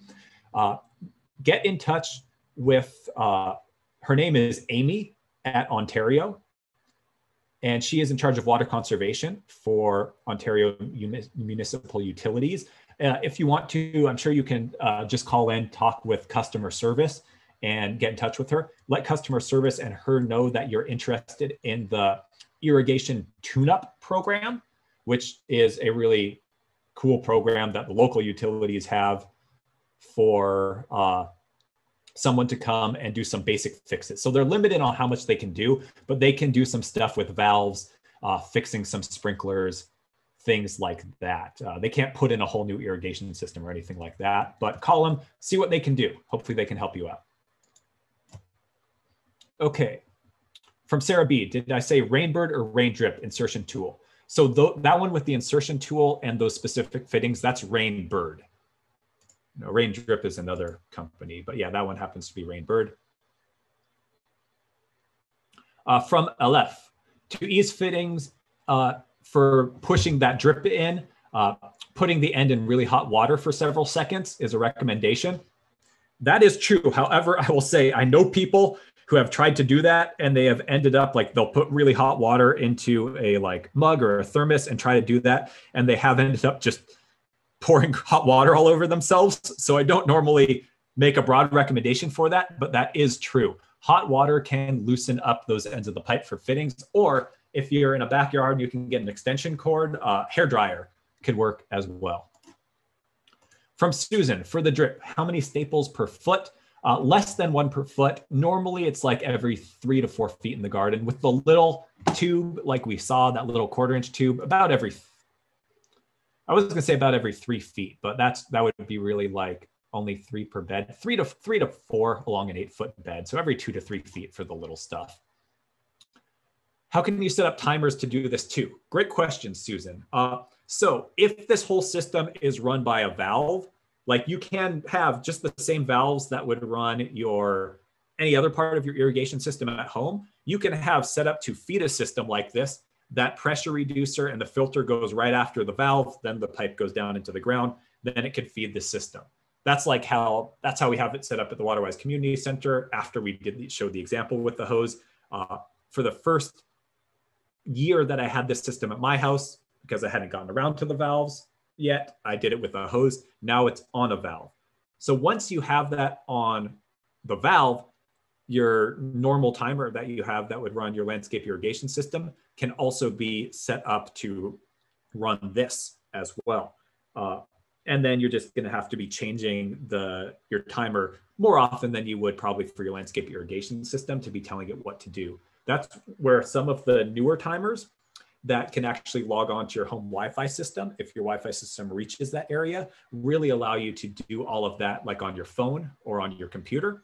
And th- that's the system that I use at home. So I'm constantly making little changes uh, or tweaks to my vegetable system uh, throughout the year, how many days a week, how long, based on that information that I'll record in the supplemental video. But it's super easy to do, uh, make those changes into my irrigation timer because I can do that on my phone. Also, a lot of those more modern ones allow you more program options. So if you want a separate program just for your vegetables, even though you might also have like one for your fruit trees, one for a lawn area, one for a water-wise garden area, uh, there's more different options and flexibility on a lot of those uh, newer Wi-Fi enabled timers. The other thing you can do, which I have in another part of my landscape where it's not connected to the timer, is you can also if you're going more low tech and still connected to a hose, I do recommend considering a hose bib timer. This is one that I particularly like because a lot of them are just really cheap plastic. This one has a pretty durable metal body. And that way, if you need to run it for uh, like 45 minutes, say, then you just turn the timer to that and it'll turn off. So it's not like you're going to forget. If you are not going to use this and are going to use a hose, I highly, highly recommend you make use of the alarm clock or timer on your phone. Because if you're anything like me, you will turn a drip irrigation system connected to a hose on, and you will wake up the next morning and think, I just watered for the last 18 hours when all I wanted to do was water for half an hour. So my personal policy is if I'm ever connecting anything to a hose to run, especially a drip irrigation system where it's not like a sprinkler system where you'll see it out the back window and you'll see, you know, the water spraying through the air.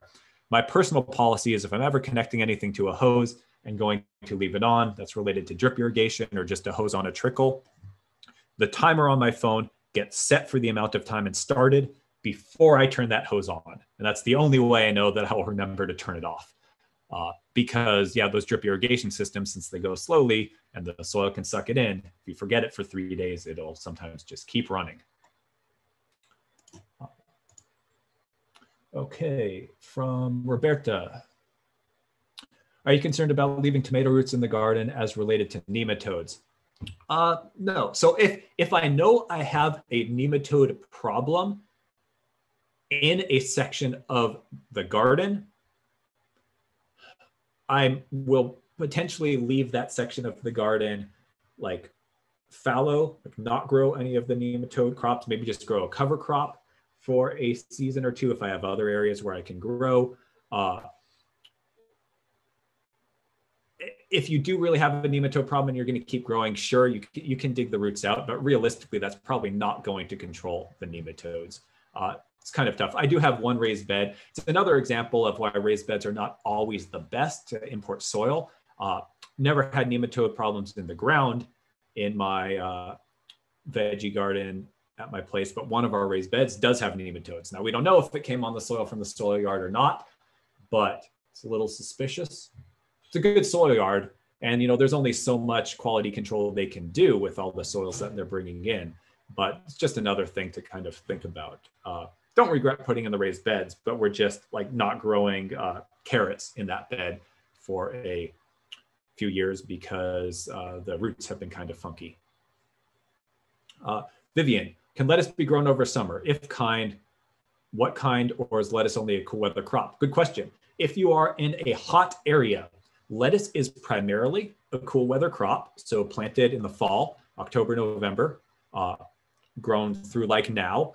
Our lettuce in our beds now is starting to get to where once it starts getting hotter, what happens with lettuce is there's like a lot of milky sap when you harvest it, and that's very bitter. Couple of tricks. The first biggest one that you want to know, so even this is still like the tail end of our winter crop. When you harvest that, once it has that kind of uh, milky sap that's bitter, harvest it, put your harvest into a big bowl of cold water for at least a half an hour, maybe change the water one extra time as well. That will kind of suck that sap out and it will make the crop taste way better once it gets into that warm season where you're starting to develop that. Other than that, if you go to some of the specialty uh, seed growers, like especially uh, like Johnny's selected uh, Johnny's seeds, they do a lot of development for these organic farms that have specific needs. And so you can literally go on there and tell tell it you want to see the varieties of heat resistant lettuce it has and get some. Now there's only so much heat resistance. So if you want to try to do those in the spring, I also recommend putting them in areas where they're going to get some afternoon shade or even growing it under like some 50% shade cloth. Sometimes what we will do is we will grow down the middle of the row. Up a trellis, we'll be growing our tomatoes or our cucumbers, which are going to take over most of that bed. And then on the north side of it, where it'll get a little bit shade and shelter from that trellis, will grow just like one little row of lettuce. So it stays actually in part shade over the summer and it's not going to be as good or grow as long into the season as uh, like our fall cool season let- lettuce crops, but it's a way to kind of extend it. Uh, so from Dr. Igor, said, sorry if I missed it. How would you provide drainage for the beds you have constructed? How about that in the case of one foot high and two foot high beds? If your beds are one foot high and on normal soil, even if it doesn't drain great, I normally don't worry about drainage uh, because you're going to have that good one foot of soil where most of the roots are going to be. And then even if after a foot it drains a little slower, water can generally drain out kind of like the sides if it's excessive, uh, like at the ed- edges of the raised bed. Especially even if it's uh, like a clayer soil, you can use a shovel or use a pick or a mattock to just kind of break up the soil underneath where the raised bed is going to be. Uh, and that'll provide some extra drainage down into the native soil. If you have gravelly or sandy soil or just any kind of mix, uh, normally you're just fine because that raised bed is going to give you that extra drainage. On a two foot high raised bed, I really don't worry about it. Uh, when I grow, like when I had those raised beds that I had uh, over concrete, it's just soil all the way down. I didn't bother with an extra drainage layer underneath. And when I would dig in, because this is the first time I did that when I had that example, uh, I would dig down every once in a while to test, you know, kind of see how things are. And sometimes after irrigation, you know, it takes a while for it to drain out just from the kind of little minuscule gap in between the concrete. So literally no drainage through there and the edge of uh, the concrete and the wood that gap. So basically, if there's extra water, it would slowly drain out. But eventually, kind of knowing that I don't need to water so much that it's coming out, I'd use that as an indicator and I'd figure out my timing to where how long do I water when I water from when the soil is dry and I need to water again? How long do I water until I rehydrate the soil as much as I need to? But there's not a lot of water that needs to drain out. I can kind of use that as a visual cue to figure out how long I do need to water. And then even then, sometimes the water at the very base, right on top of the the soil at the very base, right on top of the concrete, would be a, a, a little bit wet and mucky. But because it's like over a foot and a half down of good soil till it gets to that, I didn't really see issues from that. If you wanted to, you can put in like some gravel, which would maybe speed the water from when it gets to the bottom down out through the edges. But I try to always keep things as simple as possible and only make it more complicated or put more materials into it if I identify a problem. And with that two foot height, I just have not had drainage problems, even on top of like concrete. Uh, okay, so I think that's the last question that I have. Oh, last question is Allison still here? So last question from Allison about the compost that's given away at the Waterwise Community Center. So I took a class several years ago and we were told that compost contains some composted uh, human waste. Is it safe for vegetable gardens? Good question. Yeah. So the compost that is given away at the Waterwise Community Center does contain what are called biosolids.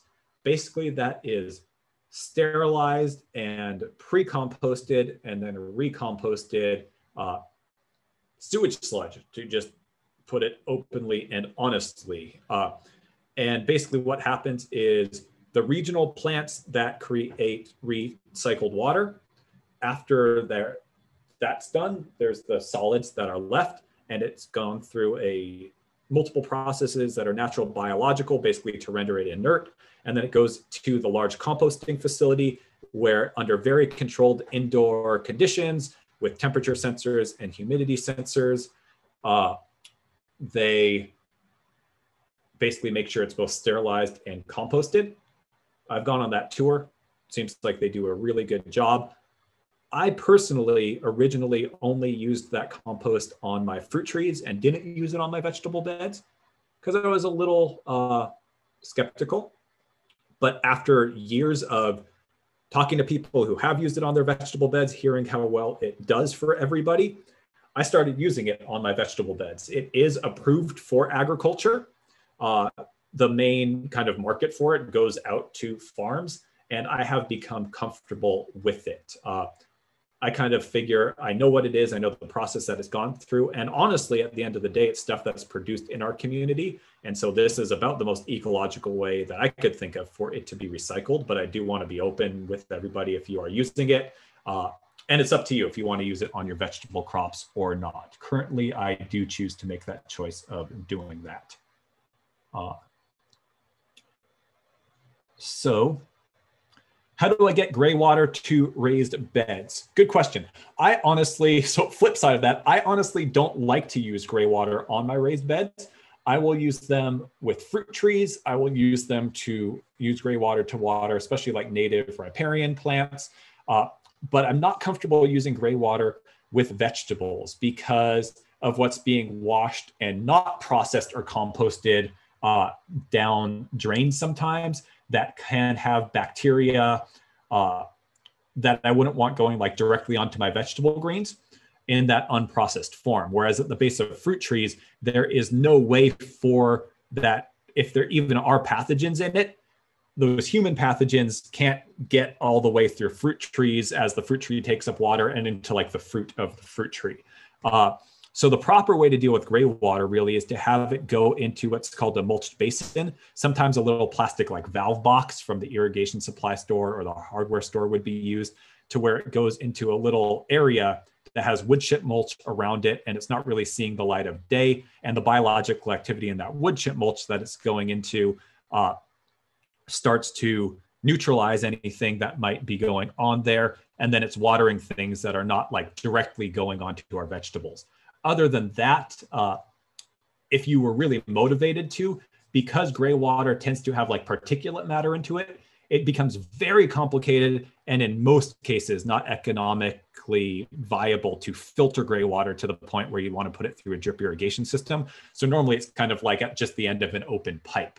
Uh, so really the only way, like if it's gray water from like a sink, it's just like very clean kind of hand washing water. You just have it go into a bucket and bring it over to wherever in your garden you want it to go and pour it out. But again, I, I, I would not particularly recommend it for vegetable gardens because you don't always know what's in that gray water.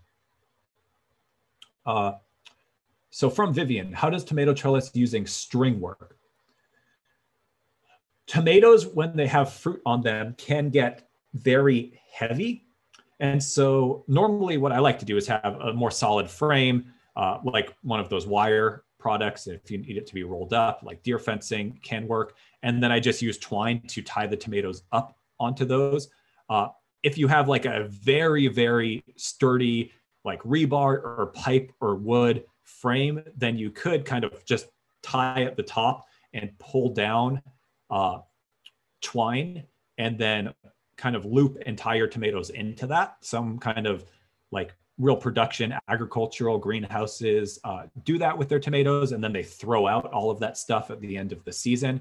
But for most of us, that's going to be a, a, lot more work and kind of a lot trickier once the tomatoes really start getting heavy. So generally, I recommend kind of a more solid framework and then just using twine as needed to kind of tie the tomato vines or branches into that framework.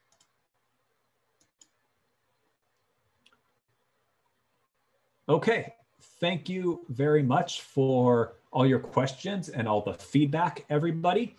Uh, I hope that you learned a lot today. I was very happy to share kind of some of the top things I've learned over the years with you. And please uh, sign up for our newsletter, check out our upcoming classes and our other programs. As people log out, I will just put up the links for that at the very end. And then, yeah, I will do my best to get that little irrigation supplemental recording up uh, by like the end of the day next Saturday. And so look for that coming up as well. And whenever that is ready, I will put the link to that directly into the description where we are going to have the recording of this workshop on our YouTube channel. And that supplement will also be on our YouTube channel as well. So have a good rest of the uh, weekend, everybody. Oh, and Barbara, sneaking one last question in before the end. How deep does the T-bar need to be to be used for the trellis? Uh, good question. I try to get my T-posts in two feet deep to have it really, really steady, depending on your soil, depending on how rocky your soil is, that may or may not be uh, feasible but really two feet is what I aim for. Uh, sometimes you can't get it in quite as much, minimum a foot, even in pretty tight soil, but basically enough to where it can really kind of support some good weight. If you can't get them in as far, you can all, often you can put them in like a little bit more often as well. So I'll I will do T bars every or T posts every eight feet. Try to get them two feet into the ground But if you can't get them in as much, maybe you do them every you know, four feet, uh, just as long as it, it feels like it's going to be uh, stable for you. Okay, have a good rest of your weekend, everybody. Happy gardening and have a good spring gardening season. Bye.